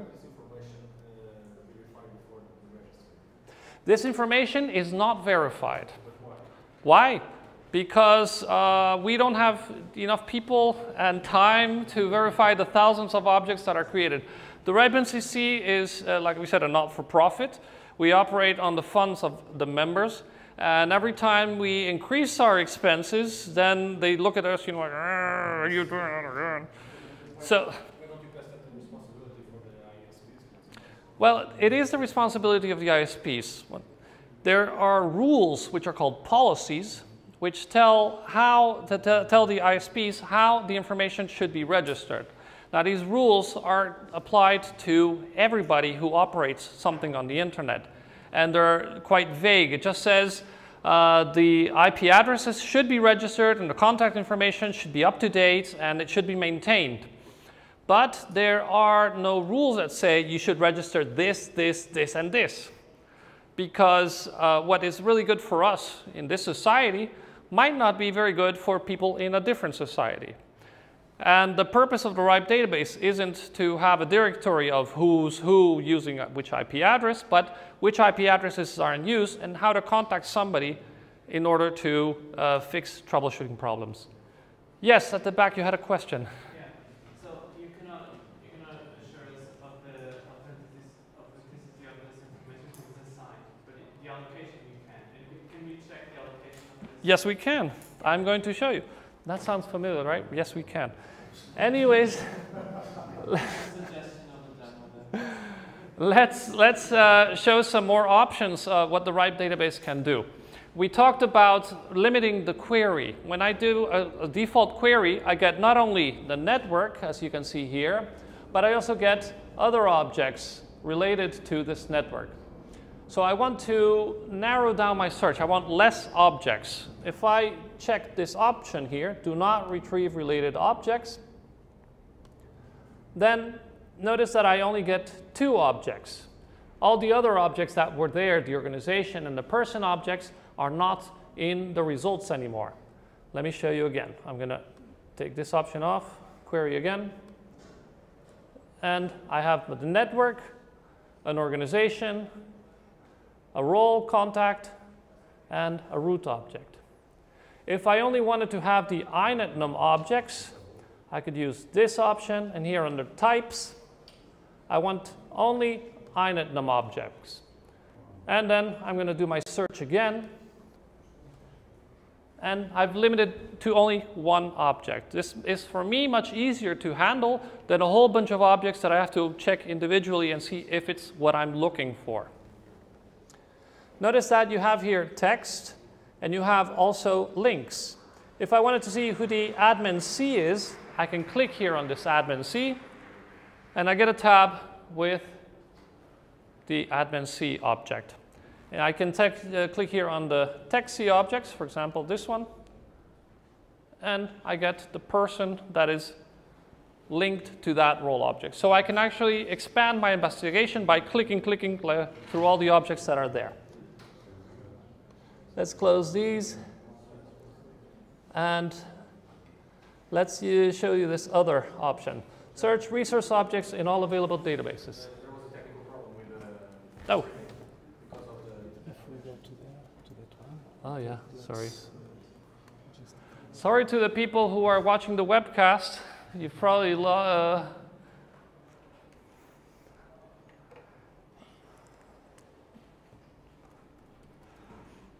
In the meantime, it's hot here. Yes, we know. you don't need the RIPE database for that.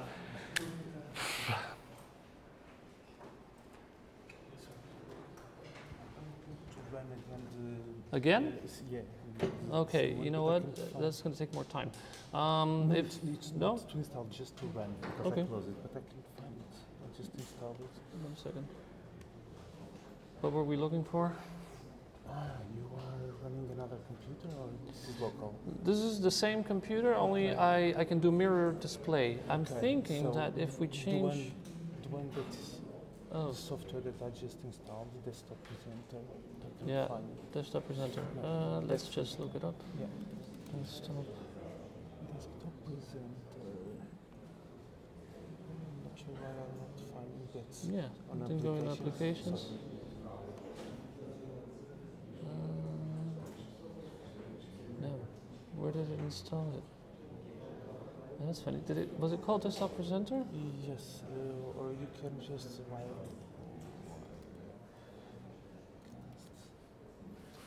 no. Can you Okay. just run this. Uh, Sure.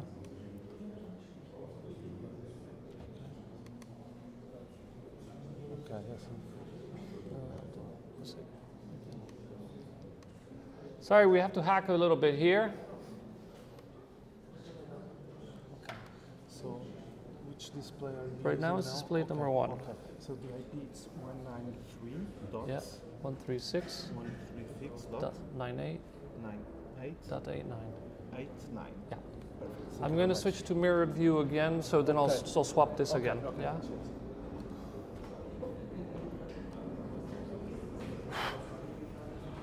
So, we're back online. Three, two, one, we're back in the room.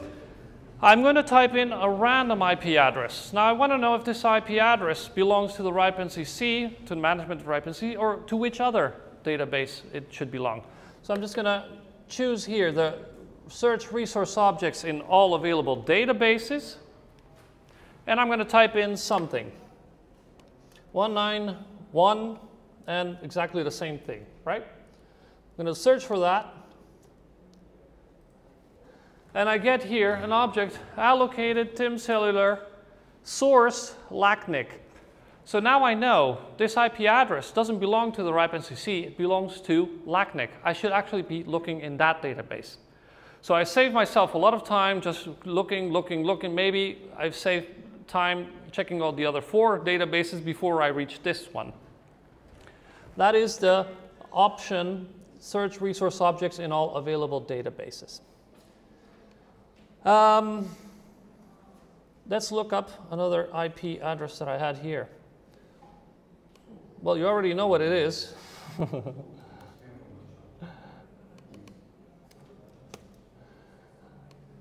Ten dot something. For people who know about IP addresses, you know what this is, right? You know what I should be getting? Well, if I look in the GRS, it says no objects matched. But if I look in the RIPE database, it tells me this is reserved by the IETF. This is address space that is not uh, in use or distributed by the RIPE NCC. So now I'm going to go back to that IP address. Um, what was it again? 193 dot. Oh, can you repeat the IP address that you had? 193 dot? 136. And then?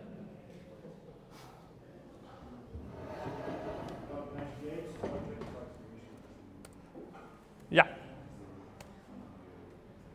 So here we go. We have this assignment. We want to know who is actually responsible for this block. So what we're going to do is look for the less specific object that's above this range. So I'm going to take the whole IPv4 range. I'm going to put it here in the query.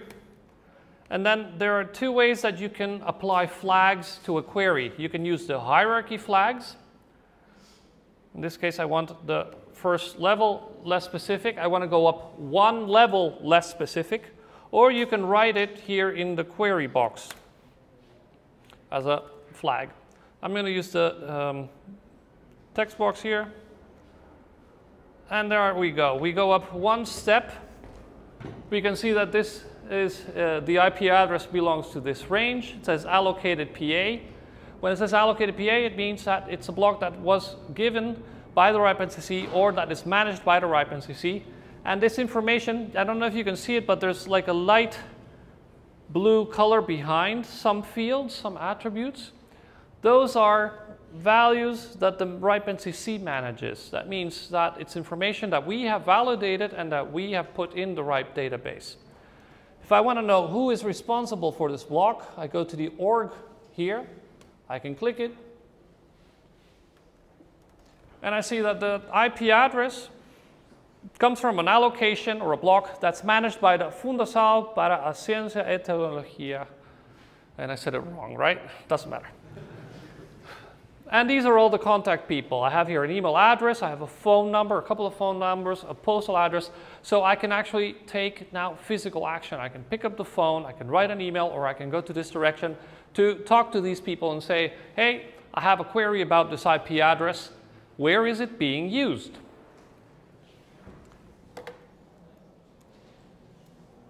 So let's go back. Simple queries, it's very easy. You can use flags to make much more advanced queries, or you can use the full text search, which treats the RIPE database as a big text uh, block of text. How are we doing with time? Whew.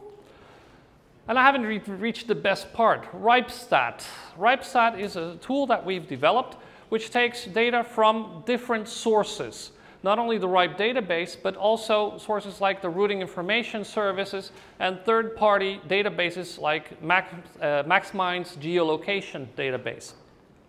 So RIPEStat is what we call a one-stop shop for all your information needs. You can put it there an IP address, and it's going to deliver at the same time not only the database objects or where it belongs to, but also routing information. What sources does RIPEStat use? Well, not only the RIPE databases, uh, but also other RIR data from APNIC, ARIN, all the other regional internet registries, BGP routing data from the Routing Information Service, active measurements from RIPE Atlas and DNSMON, the geolocation blacklist data, and some other data sources. The query types that you can use or do in uh, RIPEStat are for an IPv6 or uh, address or prefix, an IPv4 address or prefix, an AS number, you can look up a host name, and you can also look up a country code to look up country statistics. Why would you use RIPEStat? Well, uh, to answer certain questions, like for example, is someone else announcing a prefix? If you want to know if somebody is hijacking uh, an IP range, you can put it in RIPEStat and see who has been announcing this IP range over time. Not only what's happening now, but what happened in the past. Is the BGP routing consistent with the routing registry? What's registered in the right database? What somebody said that they were going to do? Is it what's actually happening on the internet? You can check this kind of information. Can check the reported geolocation of the prefixes. Is this IP actually located in Portugal or is it actually being used in the Netherlands? It's also very useful for viewing networks. How many IPv6 prefixes are announced in a certain uh, country? Is the IPv6 in your country compared to the neighboring countries? Well, this is more statistical information for network operators, but uh, how does an upstream outage look? Who has more peers, AS1 or AS2? When we talk about peers, is which other networks are connected to a network and is exchanging information? And where can I report a abuse from? uh, an IP address. RIS, which is one of the sources, is a really large archive of useful BGP routing information. Which AS number was announcing which prefixes, on which day, and with which options, which who are the upstreams, and what was the AS path. All this routing information can be useful if you are investigating something or an incident that happened over time and you want to see what happened, who was connected to whom, and who was exchanging data with whom. Uh, I think we have uh, historical data since 2001 when the project started, so that's quite a lot of time that we have on store. Uh, RIS collects raw data from the BGP peers, it stores it in table dumps, and we, you can actually use that data yourself. You can query the RIS database directly with your own program, or you can use it through RIPEStat. The difference between RIS and the RIPE database is that what is registered in the RIPE database is what somebody intended to do. This is what they said that they would be doing. And what you're looking at in RIS is what's actually happen happening on the internet right now. So if you're looking up, for example, a hijack or um, if data was coming from a certain AS, but it's registered differently, this is what you can actually see in uh, compared. Looks like this. You have a landing page with a query box. You can put in there what you're looking for, an IP address, an IP range. And once you press on search, you're going to get the results page, which is a page with a lot of boxes. Each of these boxes is called a widget. And these widgets are individual programs that do the query to the different databases and they display it on the page. On the left side, you're going to have the first landing page, which is called at a glance, and then different tabs which hold widgets specializing in a certain topic. For example, routing, DNS, anti-abuse, database, and so on. Uh, let's look at the different uh, characteristics of the widgets, which you can use to share information with other people and also check what source of information or data was uh, used to display this information. On this link, stat.ripe.net slash widget list, you have a complete list of all the widgets, what type of resources you can uh, put in as input, and um, yeah. I'd say if you want to know which widgets are in there, check on the widget list. All the widgets have a little button that uh, tells you here where the source data came from. So if you click there, you'll see where this data is coming from, and you can actually get the text output to use in your own programs for processing. Where's the data from? So from which source it took. Freshness and timescale of the data. How old is this data that's being displayed? In lots of widgets, you have also a time frame here, which you can use to make the time wider, or shorter, zoom in on a certain time. And you have the permalink button, which allows you to share this widget, uh, the results that you're seeing. You can share it with a colleague. For example, I found this information which is crucial for our investigation, and I want to share it with somebody else. I can just click here on the permalink and copy this to whomever I want so that they can see it. Let's look at RIPE-stat. I'm going to take that same IP address, poor IP address, uh, uh, um,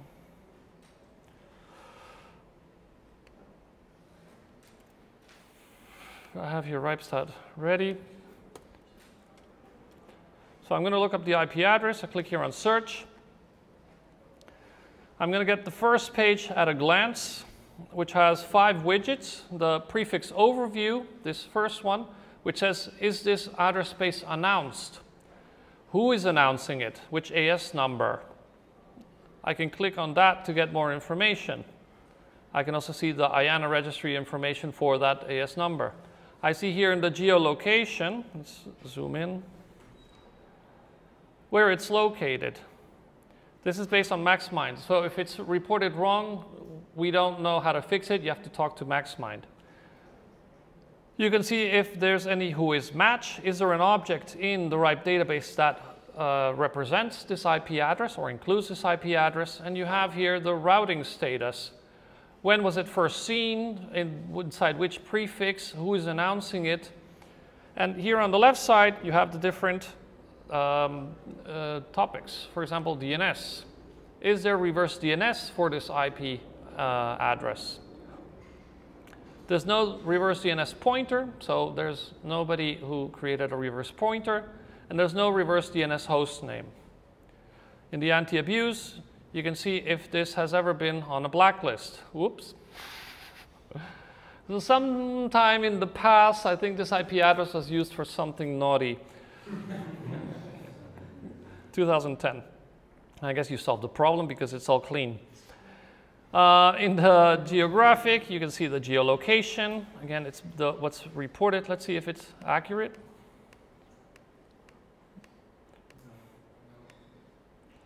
Well, somehow we're not here.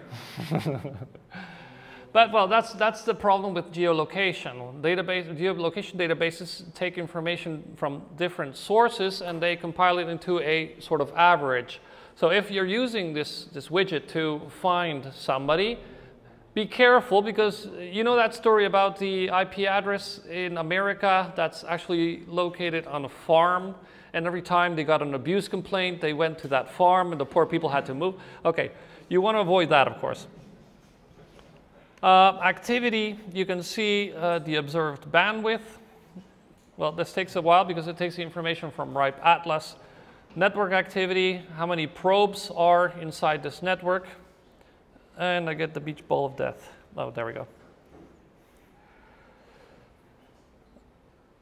somebody is running a RIPE Atlas uh, measurement. RIPE Atlas is another tool that we run, which uh, does pings and trace routes to several probes distributed around the world. Uh, there was no activity observed there. So you can see a lot of information all in one glance, which could give you a lead as to where you should proceed further. Should I uh, talk to the LIR? Am I actually looking uh, at the wrong, uh, sorry, at the right country. There are cases um, reported by Europol. I can talk about this because they presented already, so it's not secret information. But they were following um, a server which was reported to be, to be, in Germany. But when they started looking at the objects and the information in RIPESTAT, they found out that what was reported to be in Germany was actually not there, it was in Romania. And the way that they've found this is by looking at all this information and looking at the different aspects of the routing, the registration, is what's registered, what's actually happening. The objects that we see in the RIPE database, are they all pointing to the same IP address or networks? So using all this information, they could actually trace um, to the company where they should have sent the MLAT or the request for information. Oops. Go back. So, RIPE RIPESTAT questions. Yes?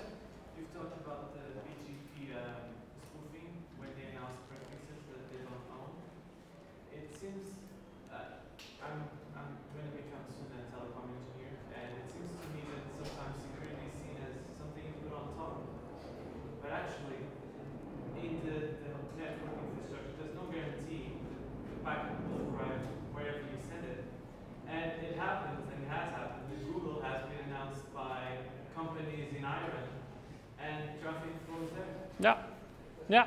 Well, you all, uh, I don't know if you all know, but there's a very famous hijack case, the YouTube Pakistan Telecom case, where Pakistan wanted to announce a more specific uh, part of the YouTube address space, and then the upstream provider didn't filter correctly, so all the traffic started going to Pakistan instead of to YouTube servers. But that is not something that uh, we could have prevented. The upstream provider should have filtered correctly. And somebody should fix BGP once and for all, right? um, but no, do you have any questions about the services and tools, how to use them? Uh, the main message that we wanted to convey today is that there's a lot of information. We have a lot of information, but it's only a starting point. You will not find in the RIPE database who is using an IP address. It can be a dog, a cat, a mule, anybody could be behind a computer. What you're looking for is the network where this computer, this piece of hardware, is connected and has this IP address configured. And that's a great place to start. Yeah? Uh, to download the RIPE database? Yes, to clone it. Because uh, I have some ideas of uh, doing mass research on that database, and if we are what we can do. Yeah. Yes, you can download a mirror of the database, but the contact information, the pri for privacy reasons, is dummified. So you will not, you won't find email addresses and stuff like that. But you will find all the inetnum objects pointing to person objects and organization objects.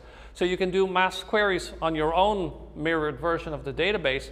And then once you've found what you want, you can check the real database to get the real contact information. So yes, it's possible. Yes? Uh, software access. Yes. Yes, uh, I can't demonstrate, I'm not a developer, but I can show you where it is. If you go to the ripe.net website slash developer, you're going to get there all the developer documentation, all the APIs for the RIPE database, for the LIR portal, for RIPE Atlas, for RIPEStat. So you can actually create your own application that interfaces with these services and displays, of course, the information that you want. Yes? About geolocation, uh, mentioned uh, if there is a problem, talk to MaxMind. But uh, RIPE-NCC is the customer of MaxMind. Yes. So if RIPE-NCC's members complain about bad data from MaxMind, you- you That's why we had the little disclaimer. And well, the thing is, if MaxMind starts, starts showing wrong information all the time, then we can choose to have a different provider. But the data that MaxMind puts in their database is their responsibility. We, we cannot be chasing after every uh, inconsistent input that they have. Because I, I, I have some networks which are reported to be in Amsterdam, but they are not in Amsterdam, they are they're in Portugal. Yeah, And they seem to ignore all the, all the requests. all the requests to fix that. Yeah, well, um, the RIPE NCC has a coordination function for the internet. So you can try to resort to us to talk to them because we have uh, other contact information than what's publicly available. So uh, if you can build a case and say, look, I've sent 100 emails and I've called 20 times and nobody at MaxMind replies, you can always ask the RIPE NCC, could you guys talk to MaxMind? And of course, that's what we're here for, to talk as last resort. Any other questions? Just a Yes. comment. I saw you using MaxMind Geolite, which is actually a free deprecated uh, database. Oops. So I could use it, uh, and it's it's not it's no longer developed. I think. Yeah, um, I guess that we don't have budget to pay MaxMind for their full services. I'm not completely aware of what, of, uh, what the deal is. Okay. But yeah, If it's Geolite, I'm pretty sure it's the, the free one that is also on PHP might be the cheap subscription. you know, not for profit, we have to take, take care of what we do. Any, yeah, We're, we're talking about downloading the whole database, uh, but you provide only for a country. For example, can I download only the IP from Portugal? Sorry, can you repeat that? Can I download the- only the IPs from Portugal? Um, well, yes. Uh, the thing is that you would download the compressed mirror set, uh, the, what's called the delegated files, and uh, you can sort out from the, the data set the blocks that have uh, country code uh, Portugal. The thing is that um, you could either uh, download all the data for the organizations that are registered in Portugal, or all the data for the networks that are registered in Portugal. So there's a lot of different variations where the word Portugal comes in mind. Yeah, Do you have any examples uh, of uh, ISPs or network operators uh, working with you guys, getting information from the, the RIS database to, to get all the BGP history? I'm concerned myself about the, the, the, the routing quality of the peers that they have. Yeah, um, yes. I could look up examples. I don't. I didn't prepare any, but there's uh, several ISPs that have links to RipeStat widgets on their front page. Um, if you give me a couple of minutes, I can look that up for you. Yes, of course. Yeah, no problem. Yes. Sorry, you you mentioned the, the Pakistani YouTube uh, issue. Uh, that also in part led to uh, RPKI with the deployment, the development and deployment. Can you have a small word about that? RPKI, sure. Um, if you know about the YouTube uh, problem, uh, BGP is not safe. It's a, it's a quite open protocol. Anybody can just start announcing anybody's uh, prefixes. And if there's no good filtering set up, uh, things can happen on the internet which were not the intention. So they created what's called the Internet Routing Registry, where they register objects uh, where they say this prefix range is going to be announced by this AS number. That's what you should expect. Build your filters based on these registrations. Now the thing is that there's about 30 something uh, routing registries across the world and they're not mirrored. What's registered in ARIN is not mirrored in the RIPE database and it's not mirrored in the RADB database. So it's not 100% reliable. So at some point, uh, somebody said, what about if we inserted certificates in this whole process? We create a digital certificate that certifies that this AS number is going to be announcing these IP addresses, and we put all these certificates in a central repository, and anybody who wants to use these certificates can download them, validate them, and then create their filtering based on these uh, uh, digital certificates. So um, some years ago, the engineers got together and they developed RPKI, which is, um, let me see if I can get to the page, RPKI validator. Uh, damn it.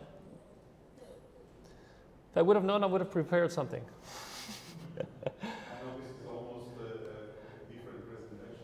yeah, well, but it's another tool. It is another tool. Do we have time? I'm going to the RPKI validator uh, page, and we should have actually a, yeah. So you would have two parts in this RPKI uh, certification. You have the validating part, the person, the, the people or the organization that issues the digital certificate. They create the certificates and say, these IP addresses which are mine, which I hold, will be announced by this AS number, which can be his or not. That's up to them. That is restored in the um, um, central repository, like one of, which the RIPE NCC operates.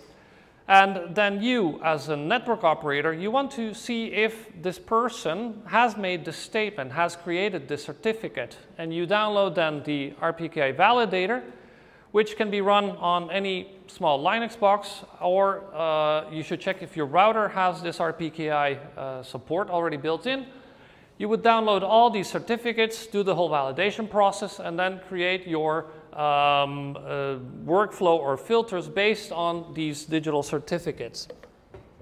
I'm going to see if I can find the validator online. It's too hot to think. Uh.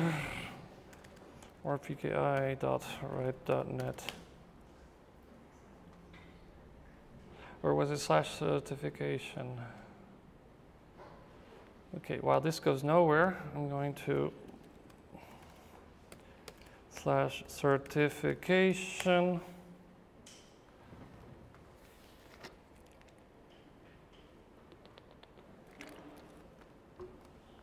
Hmm, here we go, the test environment.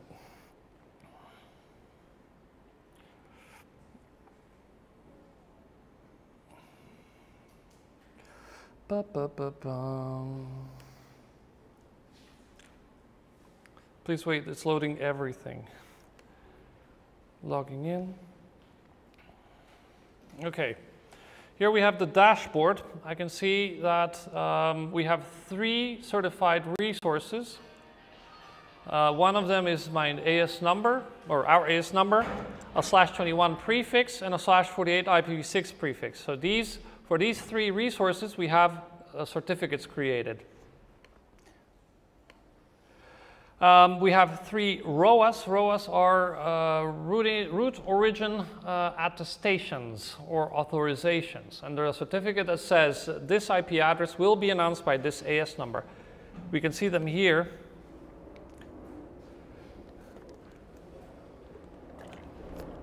So this would be on the um, um, what's it called again? Not the validating side, but the other side, the cert certifying side. I'm certifying that these IP addresses, the slash 23 and the slash 21 and the slash 48 are going to be announced by this AS number. You can see here that um, it's the, there's certain variations, like most specific length allowed, 48, meaning that you should expect only a slash 48 from this announcement, nothing smaller. Here it says 21, you should only expect a slash 21 being announced. And here it says 24. From the slash 23, you can do actually three different types of announcements.